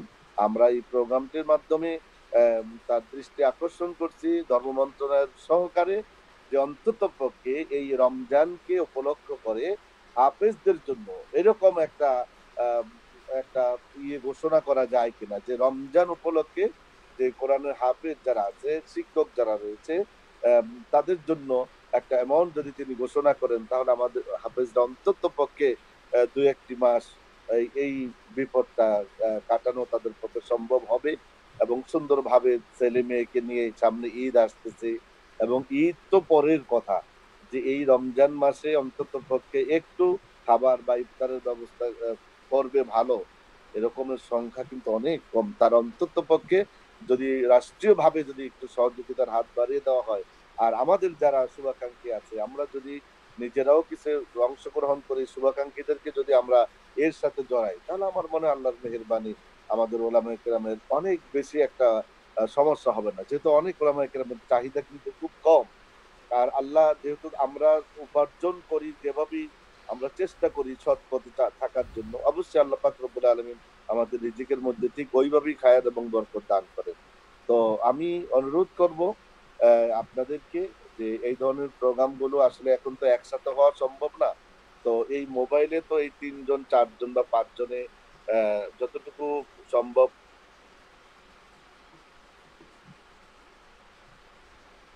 সরি যতটুকু সম্ভব আমরা আলোচনা করব আর আমাদের মুরব্বীদের পরামর্শ নিয়ে আরও কিছু মুরব্বীদের সাথে আমার মনে আমরা পরামর্শ করে এগিয়ে যাব। এবং এর আগে আমাদের যারা হাবিবুল্লাহ আলম সাহেব তিনিও বলেছেন যে মাননীয় প্রধানমন্ত্রী যে আমাদের জনাব আল্লামা শফি সাহেবকে যেভাবে তিনি রেসপেক্ট করেন, সম্মান করেন, তা আমরা হুজুরের মাধ্যমে এবং এই লেভেলের অনেকে আছেন যারা আমাদের প্রাইম মিনিস্টারের সাথে, ধর্ম মন্ত্রণের সাথে তারা ওতপ্রোতভাবে জড়িত এবং আমাদের হাবিবুল্লাহ সাহেব হুজুর, তিনি বললেন, তার যে তারও হাত আমি যতটুকু জানি, আল্লাহর মেহরবানি অনেক বড়, আমাদের মহিব খান সাহেবেরও অনেক পরিচিতি রয়েছে। আমার মনে এইভাবে করে যদি আমরা রাষ্ট্রীয় ভাবে একটা দরখাস্ত করি, আমার মনে হয় আল্লাহর মেহরবানিতে এটা পজিটিভ একটা কিছু হবে। তো আসলে অনেক রাত্র হয়ে গেছে, আমি এত কথা বলার ছিলাম না। তারপরও বলে ফেললাম, এর মধ্যে কোনো ত্রুটি বিচ্ছুত হলে ক্ষমা চাই। আমি আমার ব্যক্তিগত পক্ষ থেকে আসলে আমি বলতে চাই নাই। ইতিমধ্যেই আমার সামর্থ্য অনুযায়ী আমি চেষ্টা করেছি অন্তত পক্ষে অনেক শিক্ষক এবং অনেকগুলো মসজিদের ইমামকে এক থেকে দেড় মাসের খাবারের ব্যবস্থা করার জন্য আমি গোপনে সেটা করে দিয়েছি।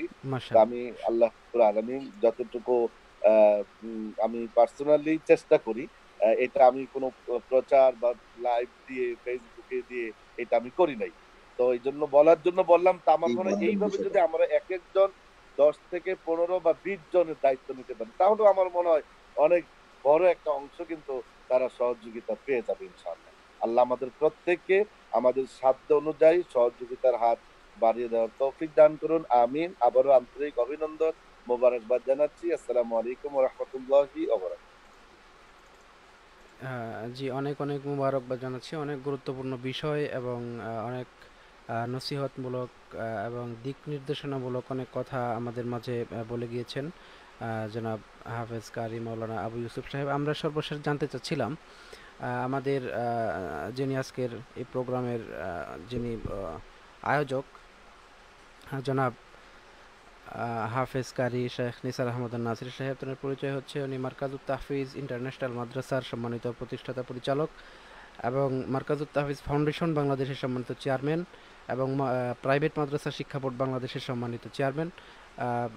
ওনার কাছ থেকে এই যে সার্বিক দিক সার্বিক বিষয়গুলো আলোচনা হয়েছে, সেই আলোচনার পরিপ্রেক্ষিতে আমরা আপনার কাছ থেকেও মূল্যবান কিছু কথা জানতে চাচ্ছিলাম। এই বর্তমান সময়ের এই দুর্যোগপূর্ণ সময়ের এই প্রাইভেট মাদ্রাসা শিক্ষা বোর্ড থেকে মাদ্রাসার প্রতি আমাদের এই বোর্ড থেকে কি কি করণীয় আছে এবং কি কি করণীয় দরকার এই বিষয়ে জানতে চাচ্ছিলাম। জি, শেখ। জি ধন্যবাদ আপনাকে এতক্ষণ আমাদের সাথে আপনি থাকার জন্য। আমি সবাইকে ধন্যবাদ দিচ্ছি আজকে যারা আমাদের মেহমান হয়ে আমাদের সাথে কথা বলছেন অতিথি হয়ে আসছেন। আসলে যারা আজকে কথা বলছেন বাংলাদেশের উল্লেখযোগ্য ওনারা কারণ এরকম আবু ইউসুফ আহ, এই দেশে আরেকবার জন্ম নেবে কিনা তা জানি না। উনি যেভাবে মিডিয়াতে হাফিজদের নিয়ে কাজ করেন আমরা যতটুকু জানি আলহামদুলিল্লাহ অনেক কাজ করেন। আমাদের কারি হাবিবুল্লাহ বেলারি সাহেব, হুজুর, সেই ছোট্ট সময় থেকে নাম শুনে আসছি। আল্লামা মুহিব খান যার সংগীত পুরা পৃথিবীকে কাঁপিয়ে দিয়েছে।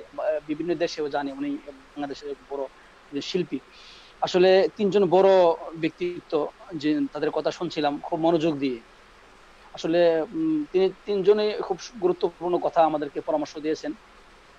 আসলে, আজকে মূল যে বিষয়টা, এটা হলো বর্তমানে হাফেজ কোরআনদের যে দুরবস্থা। এই করোনা ভাইরাসের এই মহামারীতে আপনি যদি একটু দেখেন, সবাই যদি কথা, কথাগুলি খেয়াল করেন, সবচেয়ে বেশি ক্ষতিগ্রস্ত হলো হাফেজ কোরআনগণ কারণ তার, তাদের তারাবি হচ্ছে না রমজানে। তার তারা এ পড়াইতে পারে নাই।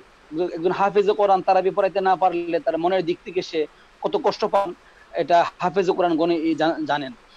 আর ওনাদের বর্তমানে মাদ্রাসা বন্ধ, বাড়ির মধ্যে বসে আছেন হ্যাঁ? এবং তাদের যে ছাত্রগুলি রয়েছে, এত কষ্ট করে যে ছেলেগুলাকে তৈরি করছেন এই ছাত্রগুলি বাড়িতে, সবগুলা বলে যাচ্ছে কোরআন শরীফ। তো সবচেয়ে বেশি ক্ষতিগ্রস্ত হচ্ছে হাফেজে কোরআনগণ। আর হাফেজে কোরআনগণদের পাশে দাঁড়ানোটা এখন খুবই প্রয়োজন, অত্যন্ত প্রয়োজন। না আছে ওদের তারাবির কোনো ব্যবস্থা, না আছে মাদ্রাসায় পড়ানোর কোনো ব্যবস্থা মাদ্রাসা বন্ধ, তারাবি বন্ধ, সব বন্ধ, ওনারা বাড়িতে বসে আছেন। আর মাদ্রাসার বেতন পেলে ওনারা ওনাদের পরিবার চলে। আর অনেক ছাত্র আছেন রমজানে তারাবি পড়ায়, তারপরে সারা বছর লেখাপড়া করেন। এই যে এক দুরবস্থা আচ্ছা এদের পাশে তো প্রত্যেকে কিন্তু প্রত্যেকের জাতির পিছনে দাঁড়াচ্ছে। আপনি দেখেন প্রত্যেকে প্রত্যেকের সংগঠনের দিকে এগিয়ে যাচ্ছেন। আমরা হাফিজে কোরআনগণ, আমরা যদি হাফিজে কোরআনদের পাশে না দাঁড়াই, তাহলে কে এসে দাঁড়াবে? এই জন্য আমি, আমাকে গত মাসে গত প্রায় বিশ পঁচিশ দিন আগে আল্লামা শরীফুল্লাহ ভাই তারপরে আমাদের মুফতি মিজানুর রহমান খুলনার হুজুর সহ আর কয়েকজন আলেম ওলামারা মুখলিসুর রহমান কাসিমি সাহেব হুজুর তারপরে আমাদের আহ, ফজলুর রহমান সাহেব হুজুর বড় বড় আলেম ওলামারা আমাকে বললেন যে হাফেজ সাহেব আপনি কিছু দিয়ে শুরু করেন। আমি বললাম যে আসলে আমার যদি তৌফিক আছে আমি ইনশাল্লাহ দেবো। তারপরে বললেন যে না আপনি দেন দিয়ে শুরু করেন। পরে আমি আমি প্রায় তিন লক্ষ টাকা আমি মুফতি মিজান সাহেব হুজুরের কাছে দিয়েছি। উনি নিজে বাজার করছেন। বাজার করে আমার মাদ্রাসায় নিয়ে আসছেন। আমরা প্রায় পনেরো বিশ দিন যাবত ভেগেডিং করে হাফেজ সাহেবদের মাদ্রাসায়, হাফেজ সাহেবদের বাড়িতে গড়ে গিয়ে গিয়ে দিয়ে আসছি। আসলে আমার আর কতটুকু তৌফিক আছে? আমার আল্লাহ তাআলা যতটুকু তৌফিক দিয়েছেন, আমি এই তিন লক্ষ টাকা প্রাইভেট মাদ্রাসা শিক্ষা বোর্ডের মাধ্যমে আমি দিয়েছি এবং আমার কার্যক্রম আর চলতেছে, আলহামদুলিল্লাহ। ব্যক্তি উদ্যোগে যদি এরকম বিশ জন হাফেজ কোরআন দাঁড়িয়ে যান, বিশ জন আপনারা যারা আমাদের কথা শুনতেছেন, বিশেষ করে আবু ইউসুফ ভাই এবং কারি হাবিবুল্লাহ বেলালি সাহেব হুজুর আল্লামা মহিব খান সাহেব, আপনারা যদি আমাদেরকে আরও একবার বলে দেন যে হ্যাঁ আপনি তিন লাখ দিয়েছেন, আরও তিন লাখ দেন। এরকম যদি আরও বিশ জন হাফেজকে যা অনেক বড় বড় হাফেজ আছেন বাংলাদেশে, বড় বড় কারি সাহেবরা আছেন, অনেক টাকার মালিক আল্লাহ তাআলা দিয়েছেন, আলহামদুলিল্লাহ, ওনারা যদি এই দুর্দিনে হাফেজ সাহেবদের সামনে, হাফেজ সাহেবদের পাশে দাঁড়ান এবং একটা ফান্ড করে আপনারা একটা অ্যামাউন্ট লিখে আমাদেরকে দিয়ে দেন যে বাংলাদেশে উল্লেখযোগ্য এই সমস্ত হাফেজ কোরআন কোরআন আছেন, কারি সাহেবরা আছেন, তাদের অর্থনৈতিক ভালো আছে। তো এই এক লাখ, দুই লাখ, তিন লাখ করে একটি আপনারা দিয়ে আমাদেরকে বলে দেন। আমরা ওনাদের কাছ থেকে এনে সবাই মিলিত ভাবে আমরা হাফেজ শব্দের দুর্দিনে দাঁড়িয়ে যাই। হাফেজ শব্দের দুর্দিন থাকবে না যদি আমরা দাঁড়িয়ে যাই। আর যদি আমরা না দাঁড়াই, তাহলে আমাদের হাফেজদেরকে অন্য আর একটা গোষ্ঠী এসে দেখবে না, দাঁড়াবে না। এজন্য প্রত্যেকে প্রত্যেকের দলের সেবা করছে। এবং আমরা যদি আমাদের ভাই, আমাদের হাবের সাহেবদের দুঃখ কষ্ট তো আমরা বুঝি, অন্যরা তো বুঝবে না। এজন্য আমরা হাফেজ সাহেবদের পাশে দাঁড়াই। প্রাইভেট মাদ্রাসার ভাড়াগুলি ওরা কীভাবে দিবে প্রিন্সিপালগণ সরকারি ভাবে যদি একটা ঘোষণা প্রধানমন্ত্রী দিয়ে দেন যে বাড়িওয়ালাদেরকে যে সমস্ত বিল্ডিং এর মধ্যে ফ্ল্যাট বাড়িতে মাদ্রাসা আছে, আপনি ভাড়া নেবেন না। আমি আপনার বাড়ির বিদ্যুৎ বিল, পানি বিল, গ্যাস বিল মকুফ করে দিলাম। তারপরে মোহতামিম সাহেবরা যদি সকল শিক্ষকদেরকে বেতন করে দিয়ে দেন, এই বন্ধকালীন সময়ে মার্চ, এপ্রিল, মে, তাহলে হা- হাফেজ সাহেবদের তো মোটামুটি একটা সমাধান হয়ে যা আর আমরা ব্যক্তি উদ্যোগে যদি আমরা সবাই এভাবে দাঁড়াই উম, জন্য আশা করি হাফেজ এই- সমস্যাগুলি থাকবে না। বেলালি সাহেব হুজুর আছেন আবু ইউসুফ ভাই এখানে আছেন আল্লামা মুহিব খান সাহেব আছেন মুফতি মিজান সাহেব হুজুর আছেন আরও যারা আমাদের লাইভ দেখতেছেন আমরা কিন্তু আজকেই শুধু লাইভ করছি না আমরা প্রত্যেকদিন করার চেষ্টা করব ইনশাআল্লাহ। তো সবার পরামর্শ নিয়ে এটা আমরা করতে চাই। আমরা সবার দোয়া নিয়ে পরামর্শ নিয়ে কীভাবে করলে আসলে একটা বুট ছাড়া একটা সংগঠন ছাড়া কাজ করাও কঠিন। তো এই জন্য আমরা সেই দুই হাজার ষোলো সালে হাবিবুল্লাহ বেলাই সাহেব হুজুর এখানে বসা আছেন, আমাদের কথা শুনতেছেন। উনি আমাদের বুট করার সময় ছিলেন বাংলাদেশে বড় বড় আলেম ওলামারা ছিলেন, আহ, আব্দুল সাহেব হুজুর ছিলেন মুফতি ইমাদুদ্দিন সাহেব অনেক বড় বড় আলেম ওলামারা ছিলেন। ওনাদের উপস্থিতিতে যাত্রাবাড়ির আমাদের আল্লামা মাহমুদ হাসান সাহেব হুজুর, উনিও আমাদেরকে পরামর্শ দিয়েছিলেন যে হাবেশ শব্দের এই দুর্দিনে যাতে করে তোমরা দাঁড়াইতে পারো। হাবেশ শব্দের প্রাইভেট মাদ্রাসার দুর্দিন যে কোনো সময় শুরু হইতে পারে যে কোনো দুর্দিনে হাবেশ শব্দের পাশে দাঁড়ানো হেফজ মাদ্রাসার পাশে দাঁড়ানো প্রাইভেট মাদ্রাসার পাশে দাঁড়ানোর জন্য একটা বুট দরকার। তো এই জন্য আমরা এটা ওই সময় করছিলাম। যেহেতু দুর্দিন শুরু হয়েছে হাফিজ হাফিজদের করোনা ভাইরাসের মহামারীতে তো দুর্দিনে আমরা একটু বেশিভাবে ভালোভাবে এদের পাশে দাঁড়াইছি। যেহেতু দুর্দিনে দাঁড়ানোর জন্য আমাদের এই শিক্ষা বোর্ডটা করা হয়েছিল। তো আমাদের এখানে প্রায় একশো একজনের মতো কমিটি আছেন। তো নতুন করে আমরা কয়েকজনকে আবার যুক্ত করেছি মুরব্বীদের পরামর্শ ক্রমে আহ, সেখানে আর বেলাল হিসেবে হুজুর তো আমাদের সহসভাপতি হিসেবে আগে থেকে আছেন এবং আমাদের আবু ইউসুফ ভাই নতুন করে আমরা যুক্ত করেছি মুরব্বীদের পরামর্শ ক্রমে এভাবে আরও অনেকে যুক্ত হয়েছেন। তো আমরা আবু ইউসুফ ভাই বলছেন যে আরও পরামর্শ করার জন্য, আরও কিছু লোকদেরকে নেওয়ার জন্য আমরা চাচ্ছি সবাই সবাইকে নিয়ে সবাইকে নিয়ে হাফেজে কোরআনদের এই মহামারীর এই দুর্যোগটাকে মোকাবেলা করার জন্য। তাতে করে হাফেজ এই এই দুর্যোগটা না থাকে। যাতে করে সামনে ঈদ, আপনি জানেন রমজানের ইফতার, সেহরি, সামনে ঈদের খরচ তাদের তো কোনো ব্যবস্থা নাই তারা বি নাই, তাদের তাদের বেতন নাই, মাদ্রাসা বন্ধ, তো তাদের পাশে কি অন্য একটা গোষ্ঠী এসে দাঁড়াবে? আমরাই দাঁড়াতে হবে। তো আপনারা যারা আজকে অতিথি হয়ে আমাদেরকে পরামর্শ দিয়েছেন, আপনারা যদি শেষ পর্যায়ে অল্প এক, দুই মিনিট করে আমাদেরকে একটা পরামর্শ দিয়ে যান, আমরা আসলে কি করব? আমাদের কি করণীয়? আমরা আব্দুল হক সাহেব সাথে যোগাযোগ করছিলাম, হুজুরের সাথে ফোনে কথা হয়েছে হুজুর আমাদেরকে পরামর্শ দিয়েছেন মাননীয় প্রধানমন্ত্রীর কাছে এই কাগজটা দেওয়ার জন্য। এবং কি কি লেখা হবে অনেকগুলো কথা হুজুরে বলেছেন। তো হুজুরে চাচ্ছেন যে হাবের শব্দের এই দুর্দিনটা যেন না থাকে। সামনে ঈদ আছে, রমজান চলতেছে। এই দুর্যোগটা আসলে হাবের শব্দের জন্য অনেকটা কষ্ট। প্রাইভেট মাদ্রাসাগুলির সমস্যা। তো যাতে করে এটার একটা সমাধান হয়, মাননীয় প্রধানমন্ত্রীর কাছে আমরা একটি আবেদন লিখেছি। মাননীয় ধর্মমন্ত্রীর কাছে আমরা একটা আবেদন লিখেছি। তো আব্দুল হক সাহেব হুজুর আমাদেরকে পরামর্শ দিয়েছেন এগুলি জমা দেওয়ার জন্য। তো আমরা যোগাযোগ করেছি, আশা করি আগামীকাল বা এর পরের দিন আমরা মাননীয় প্রধানমন্ত্রী কার্যালয়ে এবং ধর্মমন্ত্রীর কার্যালয়ে আমরা এই এই আবেদন পত্রগুলি আপনাদের পরামর্শ ক্রমে আমরা জমা দেবো ইনশাল্লাহ আর আমি ব্যক্তি উদ্যোগে আমাকে মুরব্বীরা বলছেন, তিন লক্ষ টাকা দেওয়ার জন্য আমি তিন লক্ষ টাকা ওনাদেরকে দিয়েছি। মুফতি নিজের হাতে বাজার করে আমরা আজকেও সারাদিন বিলিং করেছি। এরপরে যদি মুরব্বীরা আমাকে আরও পরামর্শ দেন বলেন যে যদি আমাকে আরও অনেক টাকা দিতে হবে। আমি সেটাতেও রাজি আছি। তারপরেও আপনারা একটা উদ্যোগ নিন আমাদেরকে বলেন আমরা কি করব। টাকা দেওয়া লাগলে টাকা দেব সময় দেওয়া লাগলে সময় দেব যা লাগে সব দেব। আপনারা একটা লিস্ট করে দেন যে এই হাইবে সাহেবের এত টাকা এই কাজ সাহেবের এত টাকা। হুজুর সাউন্ডটা মনে হয় কমে গেছে। সাউন্ড ইয়ারফোনের এটা একটু ই করে দেন সাউন্ডটা একটু কমে গেছে। ইয়ারফোনটা আমি কি লাইনে আছি? হ্যাঁ হ্যাঁ ভিডিওটা অন করেন, লাইনে আছেন।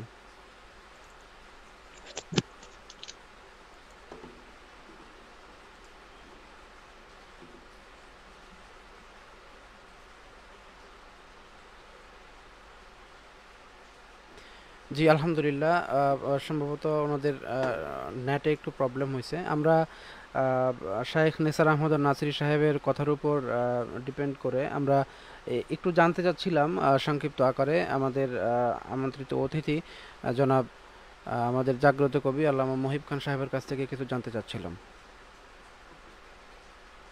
হ্যাঁ, মাশাআল্লাহ সবার বক্তব্যই এসেছে এবং তাৎক্ষণিক যার যেরকম চিন্তা বা পরিকল্পনা মাথায় এসেছে, সবাই পেশ করেছেন। সবকটি সবকটি কথাই গুরুত্বপূর্ণ। তো এগুলো সমন্বয় করে আসলে যে কথাটা আসল, যে কেউ কিছু করতে চাইলে এটা বিরোধিতার তো প্রশ্নে ওঠে না কারও, করা উচিত নয়। তো সেটা কীভাবে করলে ভালো হয় সেটার জন্য কিছু পরামর্শ আলোচনা করা, সেটাই হয়েছে আজকে। তো এইগুলোর ভিত্তিতে কাজ আগাতে হবে। কাজ আগানোটা আসলে বড় কাজ। নেসার ভাই একটা কাজ করতে চাচ্ছেন উনি ওনার হৃদয়ের ব্যথা থেকে হ্যাঁ, ওনার অন্তরের দরদ থেকে। উনি একজন হাফিজে কোরআন উনি অসংখ্য হাফিজে কোরআনের খাদেম হিসেবে উনি কোরআনের খাদেম হিসেবে কাজ করছেন। হাফিজ গোড়ার কারিগর হিসেবেও তিনি অন্যতম একজন।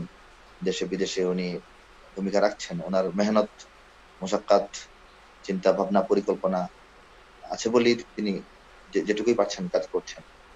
তো যেহেতু হাফিজদের এই আকস্মিক দুঃসময়ে তিনি কিছু করতে চাচ্ছেন এবং এই মুহূর্তে ভেবেছেন তা না, কিছু বছর আগে, কিছু বছর আগে থেকেই যে কোনো সংকটকালে যেন কাজে লাগে এই জন্য কোনো চিন্তা উনি করেছেন। চিন্তাটাকে আগায় নেওয়া উচিত।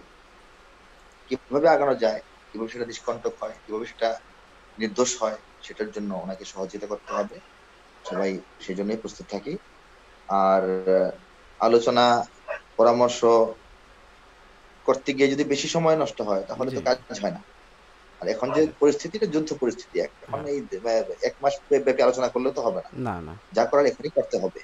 কাজে আলোচনায় খুব সময় নষ্ট না করে কিন্তু কি কি বিষয়ে একান্তই প্রয়োজন যেটা এখন না করলে পরবর্তীতে আমরা আহ, ক্ষতিগ্রস্ত হতে পারি কাজে ভুল হতে পারে সেগুলো চলে এসছে। এগুলোর উপর আলোকপাত করে আমি অনেক অনুরোধ করব। সময় দীর্ঘায়িত বা নষ্ট না করে স্বল্প সময়ের ভিতরেই জরুরি জরুরি ভিত্তিতেই তিনি যেন আজকের আলোচ্য বিষয়গুলোর উপর নিজেই চিন্তা ভাবনা আলোচনা করে সিদ্ধান্তগুলো নেওয়ার চেষ্টা করেন। সেগুলোতে আমরা আবারও সহায়তা করব, আবারও পরামর্শ দেব, নেব। এভাবে কাজ হবে ইনশাল্লাহ জি জি ইনশাল্লাহ আমরা চেষ্টা করব যে জনাব শেখ নিসার আহমদ নাসরি সাহেবের কাছে আমরা আবার যাব সংক্ষিপ্ত আকারে সমাপনী বক্তব্য দিয়ে আজকে আমরা সময় অনেক হয়ে গেছে এখানে আমন্ত্রিত অতিথিরা যারা আছেন তারাও ই করছেন। তো আমরা শেখ নিসার আহমদ নাসরি সাহেবের কাছ থেকে আমরা সমাপনী বক্তব্য জানতে চাচ্ছিলাম। জি, ধন্যবাদ সবাইকে এত সময় আমাদেরকে সময় দেওয়ার জন্য। আসলে যারা আজকে আমাদের অতিথি হয়ে আছেন বেলাল সাহেব হুজুর আবু ইউসুফ ভাই এবং আল্লামা মুহিব খান ভাই। সবাই কিন্তু বাংলাদেশের একজন আহ, এক একজন নক্ষত্র। আমরা আসলে এদেশের মানুষ আমরা যারা বাংলাদেশে বাস করি আমরা কিন্তু মানুষদেরকে চিনি মরার পরে। যেমন জুবার আনসারি সাহেব হুজুর আহ, উনি দুনিয়াতে যখন ছিলেন আমরা অনেকেই ওনাকে চিনি আহ, কতটুকু চিনছি আমরা জানি না। মৃত্যুর পরে কিন্তু আমরা অনেকটাই চিনতেছি। আমাদের আহ, মুফতি আমি আমি সাহেব রহমতুল্লাহ আলাই ওনাকে দুনিয়াতে থাকতে আমরা কতটুকু চিনেছি? মৃত্যুর পরে কিন্তু আমরা আরও ভালো করে চিনেছি। তো আমাদের আবু ইউসুফ ভাই যে কাজগুলি করতেছেন, আসলে আমরা কতটুকু জানি এবং কতটুকু চিনি জানি না, কিন্তু হাফেজ কোরআনদেরকে একটা পর্যায়ে কিন্তু উনি নিয়ে গিয়েছেন। এটা বলতে হবে, এটা ওনাকে আল্লাহ তালা সেই তৌফিক দিয়েছেন, যোগ্যতা দিয়েছেন। কারি বেলাল সাহেব হুজুর সহ এবং আমাদের আল্লামা মুহিব খান, একটা জগৎকে অনেক দূরে নিয়ে গেছেন আসলে ওনারা দুনিয়াতে এরকম মানুষ বাংলাদেশে আর আর কতজনকে পাবে, কত বছর পাবে, কত যুগ পরে পাবে, এটা জানি না। তো আসলে ওনারা আমাদেরকে পরামর্শ দিবেন। সেই জন্য আজকে ওনাদেরকে আমরা এখানে যুক্ত করেছি। ওনারা আমাদেরকে পরামর্শ দিবেন। আমার কি করণীয় আছে এবং হাফেজ কোরআনদেরকে যাদের অর্থনৈতিক অবস্থা ভালো আছে যে সমস্ত কারি সাহেবদের অবস্থা ভালো আছে, টাকা পয়সা আল্লাহ তালা দিয়েছেন, এই মুহূর্তে কি করণীয়? আমরা কি আমরা আমরা যেমন নিজের উদ্যোগে আমরা আমাদের প্রাইভেট মাদ্রাসা শিক্ষা বোর্ডের উদ্যোগে আমরা কাজ চলতেছে এবং চলবে আরও। আমরা চাই আপনাদের মাধ্যমে আপনারা যদি আমাদেরকে একটা দিক নির্দেশনা দিয়ে দেন যে আপনারা এরকম বিশ জনের লিস্ট দিয়ে দেন, তিরিশ জনের লিস্ট দিয়ে দেন যে বাংলাদেশের সমস্ত হাফেজ কোরআনদের টাকা পয়সা আল্লাহ তালা দিয়েছেন, এই সমস্ত কারি শব্দ আল্লাহ টাকা পয়সা দিয়েছেন, আপনারা দশ লাখ পাঁচ লাখ, এক লাখ, পঞ্চাশ হাজার যা পারেন দিয়ে হাফেজ কোরআনদের এই দুর্যোগটা মোকাবেলাটা করেন, এই দুর্যোগটা শেষ করেন। কারণ পরামর্শ করতে করতে তো এই দুর্যোগ চলে যাবে। সামনে ঈদ, ঈদ- ঈদের, ঈদ চলে আসবে। তো আসলে হাফেজ সাহেবদের তো এখন কিছুই নেই। তো ওনারা আমাদেরকে একটা পরামর্শ দিবেন। সেই জন্যই আজকে ওনারা অতিথি হয়ে আমাদের সাথে যুক্ত হয়েছেন। আমরা চাই আপনাদের কাছ থেকে ভালো একটি পরামর্শ। আর হেফজোহানাগুলি যদি রমজানে এখন জানি না উদ্যোগ নিলে খোলা যাবে কিনা, জানি না সরকারের কাছে বললে কতটুকু ফায়দা হবে। আমার মনে হয় না কোনো ফায়দা হবে বলে। তারপর আমরা চেষ্টা করব রমজানে যেন হেফজখানাগুলি খুলে দেওয়া হয়। যদি রমজানে খোলা না হয়, রমজানের সর্বোচ্চ পাঁচ দিন পরে অথবা এক সপ্তাহ পরে যেন হেফজখানাগুলি খুলে দেওয়ার ব্যাপারে এখনই সিদ্ধান্ত নেন সরকার একটা ঘোষণা যেন দিয়ে দেন যে বাংলাদেশের হেফজখানাগুলি রমজানের এক সপ্তাহ পরে এই তারিখে খোলা হবে। এই ব্যাপারটা কিন্তু খুবই গুরুত্বপূর্ণ। রমজানের পরে যদি আবার সময় বাড়াই দেওয়া হয়, তাহলে আমাদের দেশে হেফজখানাগুলি অনেক পঙ্গু হয়ে যাবে, অনেক হেফজখানা বন্ধ হয়ে যাবে, বিভিন্ন সমস্যা দেখা দেবে, আর হেফজখানা ছেলেরা কোনশিপটা ভুলে যাবে। এই জন্য মুহূর্ত করে কোনশিপ বলে যাওয়াটাও কিন্তু অনেক বড় একটি পাপ পাপ। তো আমরা আজকের এই পরামর্শ সবার মধ্যে, আমি সবার কাছ থেকে পরামর্শ চাই, আমরা আসলে কীভাবে কাজ করব? আমরা সকল মুরব্বীদের লোকে যোগাযোগ করেছি, আমরা জুনায়দ বাবনগরী হুজুরের সাথে ফোনে কথা বলেছি, হুজুর এই দুর্যোগ কীভাবে মোকাবেলা করব? আমরা আল্লামা মাহমুদ হাসান হুজুর যাত্রাবাড়ির হুজুর, হুজুরের কাছে যোগাযোগ করেছি, হুজুর, আমরা এই দুর্যোগ কীভাবে মোকাবেলা করব? আমাদের হাফেজ কারি শেখ আব্দুল্লাহ সাহেব হুজুরকে ফোন দিয়েছি, হুজুর, আমরা এই দুর্যোগটা কীভাবে মোকাবেলা করব? হাফেজ সাহেবদের অনেক মহা দুর্যোগ এখন। কীভাবে মোকাবেলা করব? ওনারা আমাদেরকে পরামর্শ দিয়েছেন। আমাদেরকে আবু ইউসুফ ভাই ওই দিন ফোনে অনেক কিছু বলেছেন। হ্যাঁ কীভাবে আমরা কি করব? বেল্লা সাহেব হুজুর আমাদের আগে থেকে সহসভাপতি হিসেবে আছেন। আমাদের আবু ইউসুফ ভাই আমাদের সংগঠনে আছেন। এরপরে আমাদের আল্লামা মুহিব খান সাহেব, উনিও আমাদেরকে পরামর্শ দিচ্ছেন। আসলে এই দুর্যোগটা কিন্তু হঠাৎ করে আসছে এবং হঠাৎ করে আবার শেষ হয়ে যাবে তো এই জন্য এটা অনেক সময় আমাদের হাতে নেই। আমরা অল্প সময়ের ভিতরে কীভাবে হাইবের সাহেবদের এই দুর্যোগটা আমরা মোকাবেলা করতে পারি, হাবিব সাহেবদের পাশে দাঁড়াইতে পারি তাদের কিছু উপহার দিতে পারি। তারা রমজানটা সেহেরি, ইফতার এবং ঈদ যেন ভালোভাবে করতে পারে। এ ব্যাপারে আপনারা আমাদেরকে একটা পরামর্শ দিবেন। এই আশা আমরা আপনাদের কাছে করি। যারা আমাদের লাইভটি দেখছেন, অবশ্যই লাইভটি শেয়ার করে দিবেন এবং আপনি কমেন্ট করতে পারেন। আপনার আপনার কোনো পরামর্শ থাকলে আমাদের কমেন্ট বক্সে আপনি জানিয়ে দিন আমরা আমাদের কি করণীয়, আমরা কি করব আপনাদের জন্য।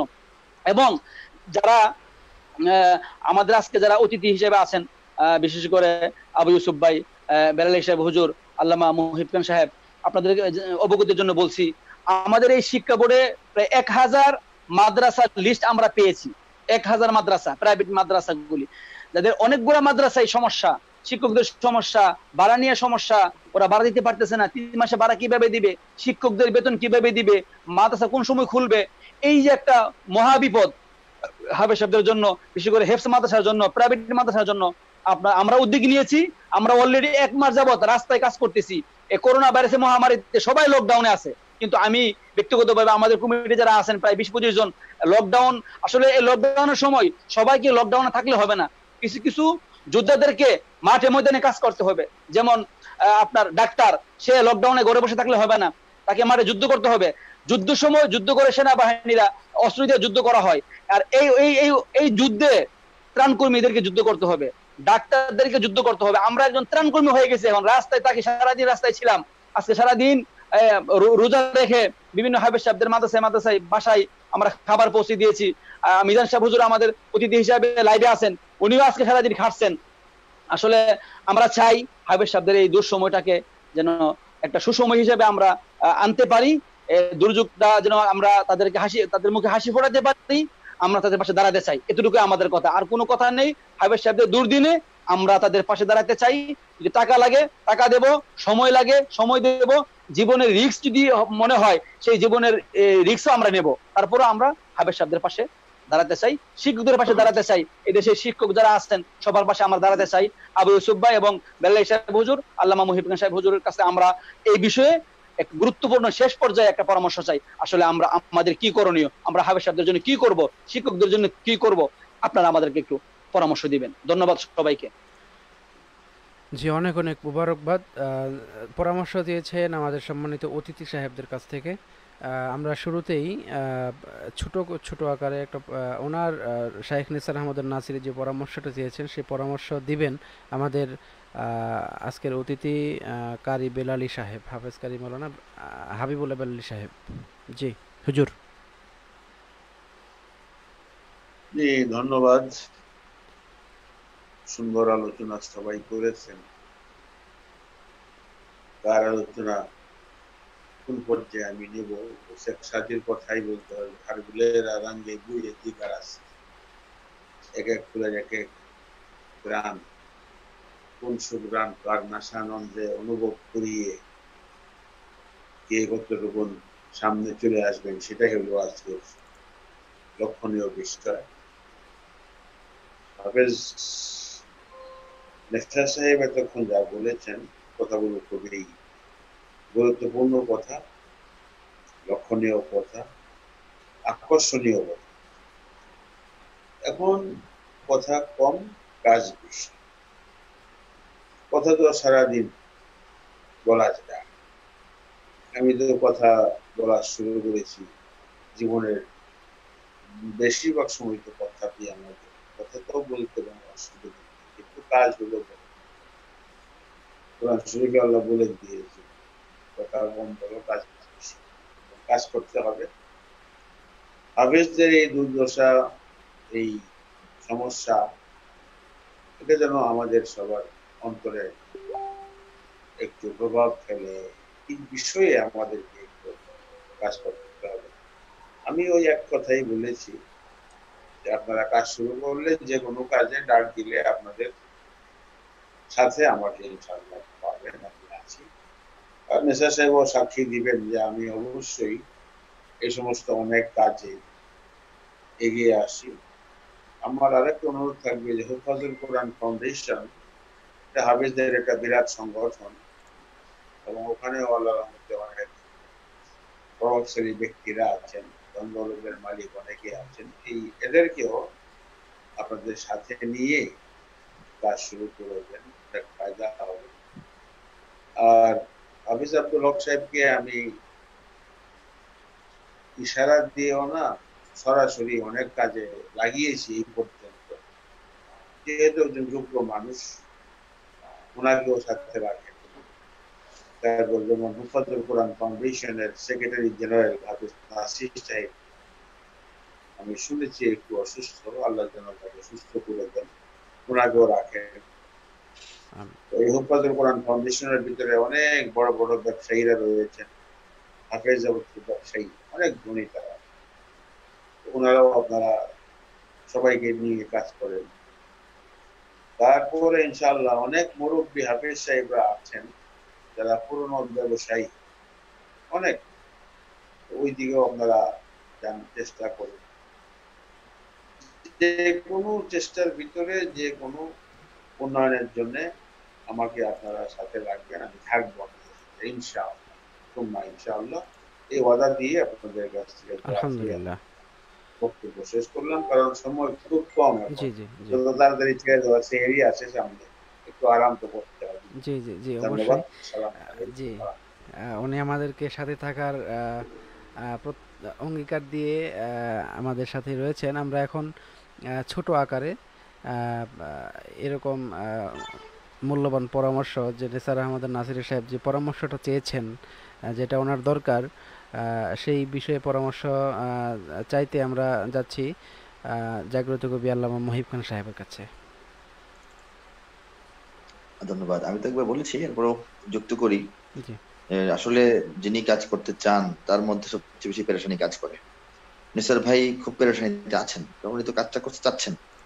উনি দীর্ঘ আলোচনাটা ওনার যেমন প্রয়োজন শর্টকাট খুব আহ, একটা পরামর্শ একটা সিদ্ধান্তে আসাটা ওনার জন্য কাজের জন্য দরকার যেহেতু দেরি করার সময় নাই।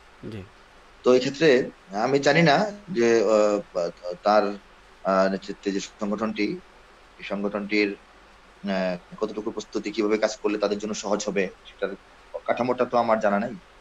অনেক মাদ্রাসা হাজার খানিক মাদ্রাসা এখানে যুক্ত এটা একটা বিশাল ব্যাপার। তো উনি যেটা ভালো মনে করেন যেভাবে ভালো মনে করেন সহজ মনে করেন কাজটা সেভাবেই উনি আগাবেন সেই ক্ষেত্রে যদি এমন হয় যে ব্যাপকভাবে অনুদান আহ্বান করা, যে যেমন পারেন এখানে দেন। এটা এক ধরনের ইয়ে কর্মসূচি। এটা সহজ হবে নাকি ব্যক্তিগত পরিচয়ে যাদেরকে আমরা নির্দিষ্টভাবে জানি যে ওনারা হিফজের সঙ্গে জড়িত, নিজে হাফেজ বাংলাদেশে কোনো শিল্পপতি বা ব্যবসায়ী যারা নিজেরা হাফেজ বা কোনো হাফেজ সন্তানের পিতা, তিনি স্বাবলম্বী বা সামর্থ্যবান, বিত্তবান মানে হিফজ এবং আমাদের ব্যক্তিগত ভাবে আমাদের সঙ্গে সম্পৃক্ত যাদেরকে ফেস টু ফেস আমরা চিনি জানি যে তিনি সামর্থ্যবান এবং তিনি হৃদয় হৃদয়বান। এরকম বেছে বেছে আমরা ইয়ে করতে পারি কিনা কোনটা এই মুহূর্তে কার্যকর হয় এবং ওনাদের জন্য সহজ হয় সেভাবে তারা আগান সেটাই আমি মনে করি।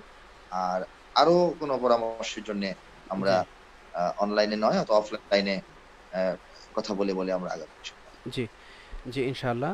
এক ভাই কমেন্ট করেছিলেন। ওই আহ, ও- ও- ওবায়দুল্লাহ ভাই জি। আপনি ওই ইসুফ ভাইয়ের আগে ওই মিজান সাহেবের কাছে একটু নিয়েন ইসুফ ভাইকে নিন জি।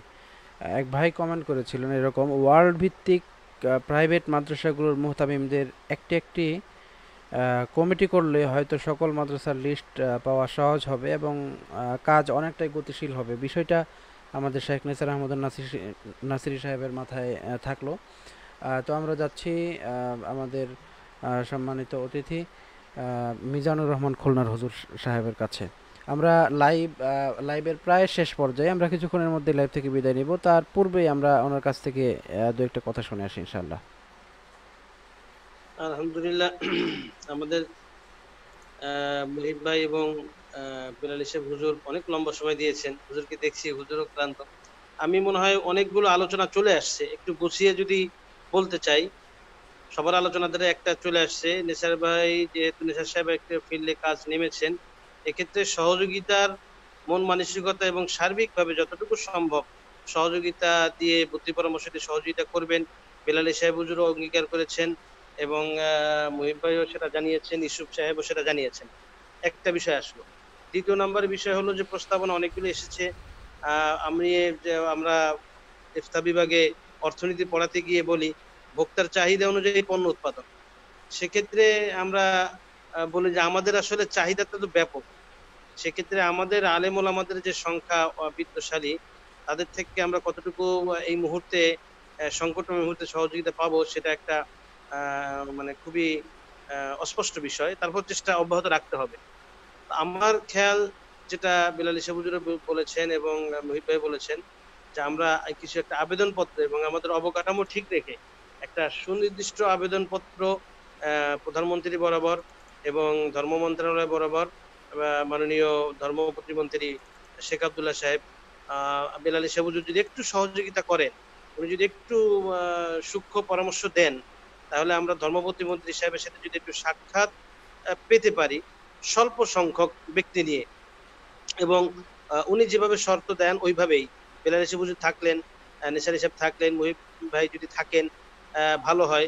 আহ, আরও যদি প্রয়োজন দু একজন মনে হয় এরকম একটা টিম নিয়ে আমরা ধর্মপতি মন্ত্রী সাহেবের সাথে দেখা করে বিষয়টা একটু ওনার সাথে ওনার ওনার জেহেনে আমরা বিষয়টা দেই। সমস্যাটা কই? কি? এখানে কিন্তু আমরা আসলে এত আরও কোনো অনেক সমস্যা চলে আসছে। মাদ্রাসাগুলো কত নাগাদ চলবে? হেফসাখানার হাফেজ সাহেবদের ইয়াদ নিয়ে প্রশ্ন ওস্তাদদের সমস্যা সমাধানের প্রশ্ন এটা ব্যাপক এবং সুদূর পরিকল্পনা বিষয়। আর পুরা দেশের দায়িত্ব কিন্তু ধর্ম মন্ত্রণালয়। শেখ আবদুল্লাহ সাহেব অত্যন্ত আন্তরিক, নিজেও হাফেজ। তিনি নিজেও কিন্তু হাফেজ, আমরা মনে হয় অনেকেই জানি। তো উনি হাফেজদের প্রতি একটা ওনার হৃদয়ে থাকবেই। আলাদা একটা অবস্থান ওনার হৃদয়ে থাকবেই। আর আমরা যদি সেই আন্তরিকতার সাথে সেই ভালো একটা বৈঠক করে ওনাকে যদি অবগত করতে পারি, ওনার মাধ্যমে যদি আমরা প্রধানমন্ত্রী, মাননীয় প্রধানমন্ত্রী সাহেবের কাছে সেই আবেদনটা করতে পারি, আমার মনে হয় শর্ট টাইমের ভিতরে আমরা একটা সমাধান পাবো। আর যে বিত্তশালী ওলামা একরাম যারা আছেন তাদের সাথেও আমাদের লিস্ট করে একটু দেখা সবাই আমার মনে হয় পার্সোনাল ভাবে আবু ভাই যেটা বললেন এবং বেলাল ইসাবুজুরও সবার ক্ষেত্রে আমি জানি, ওনারা পার্সোনাল ভাবে অনেকেই সহযোগিতা করেছেন। তারপরেও আমাদের এই ব্যাপক উদ্যোগে যাতে ওনারা একটু শরিক থাকেন, সেক্ষেত্রে আমাদের পার্সোনাল গাছতো এবং ওনাদের সাথে মা- মাসওয়ারা চলবে। কিন্তু বড় যে সাপোর্টটা যেটা সরকারেরও দরকার ধর্ম মন্ত্রণালয়েরও দরকার, ফাউন্ডেশনেরও দরকার। আমরা যদি বেলাল ইসাবুজুর সুনির্দিষ্ট কিছু ওই সহযোগিতা করেন, টাইমও হয়ে গেছে। আমরা দরকার হলে আগামীকালকে ওনার সাথে পার্সোনালভাবে দেখা যদি করা সম্ভব হয়, তাহলে ফোনে আলাপ করে ভাই যদি ফোনে আলাপের মাধ্যমে উনি যদি সুনির্দিষ্ট একটা দিক নির্দেশনা এবং লিঙ্ক আমাদের দিয়ে দেন যে এইভাবে আমি সহ আমরা ধর্ম প্রতিমন্ত্রী সাহেবের সাথে দেখা করব। তাহলে এটা একটা সহজ রাস্তা হয়ে যায়। দুই নাম্বার। আর আমাদের আলোচনা অব্যাহত থাকবে। ভাই যে কথাটা বলছেন যে শিক্ষা ব্যবস্থা হেফসখানাটা কমপক্ষে যেন চালু রাখার ব্যবস্থা করা যায় স্বাস্থ্যবিধি মেনে অত্যন্ত গুরুত্বপূর্ণ বিষয়। আর আমার আমি একটা মেসেজ দিয়ে রাখি সময় সংক্ষিপ্ত।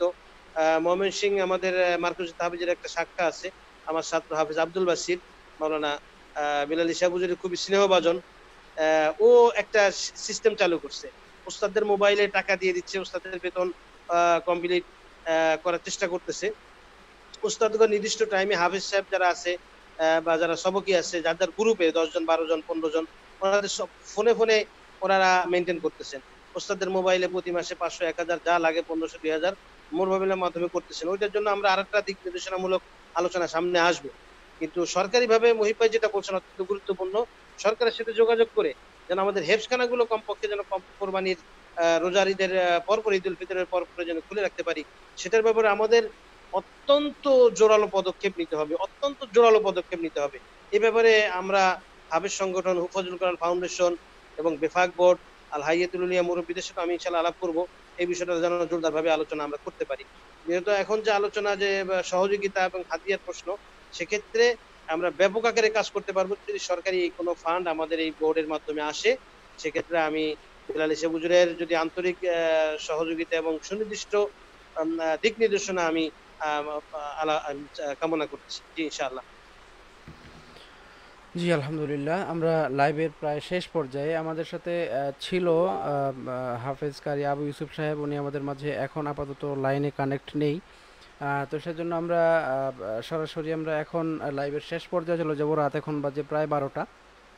তো সম্মানিত প্রিয় দর্শক মণ্ডলী, আপনারা যারা যারা এতক্ষণ আমাদের সাথে ছিলেন, সবাইকে জানাচ্ছি আন্তরিক মুবারকবাদ এতক্ষণ আমাদের সাথে থাকার জন্য। আর আমাদের সম্মানিত অতিথি সাহেবগণ আছেন জাগ্রত কবি আল্লামা মহিব খান সাহেব, আছেন মিজানুর রহমান খুলন হজুর সাহেব এবং আছেন হাফেজ কারি নেজার, নিসার আহমদ নাসিরি সাহেব আছেন, আমাদের প্রাণপ্রিয় হাফেজ কারি হাবিবুল্লাহ বেলালি সাহেব।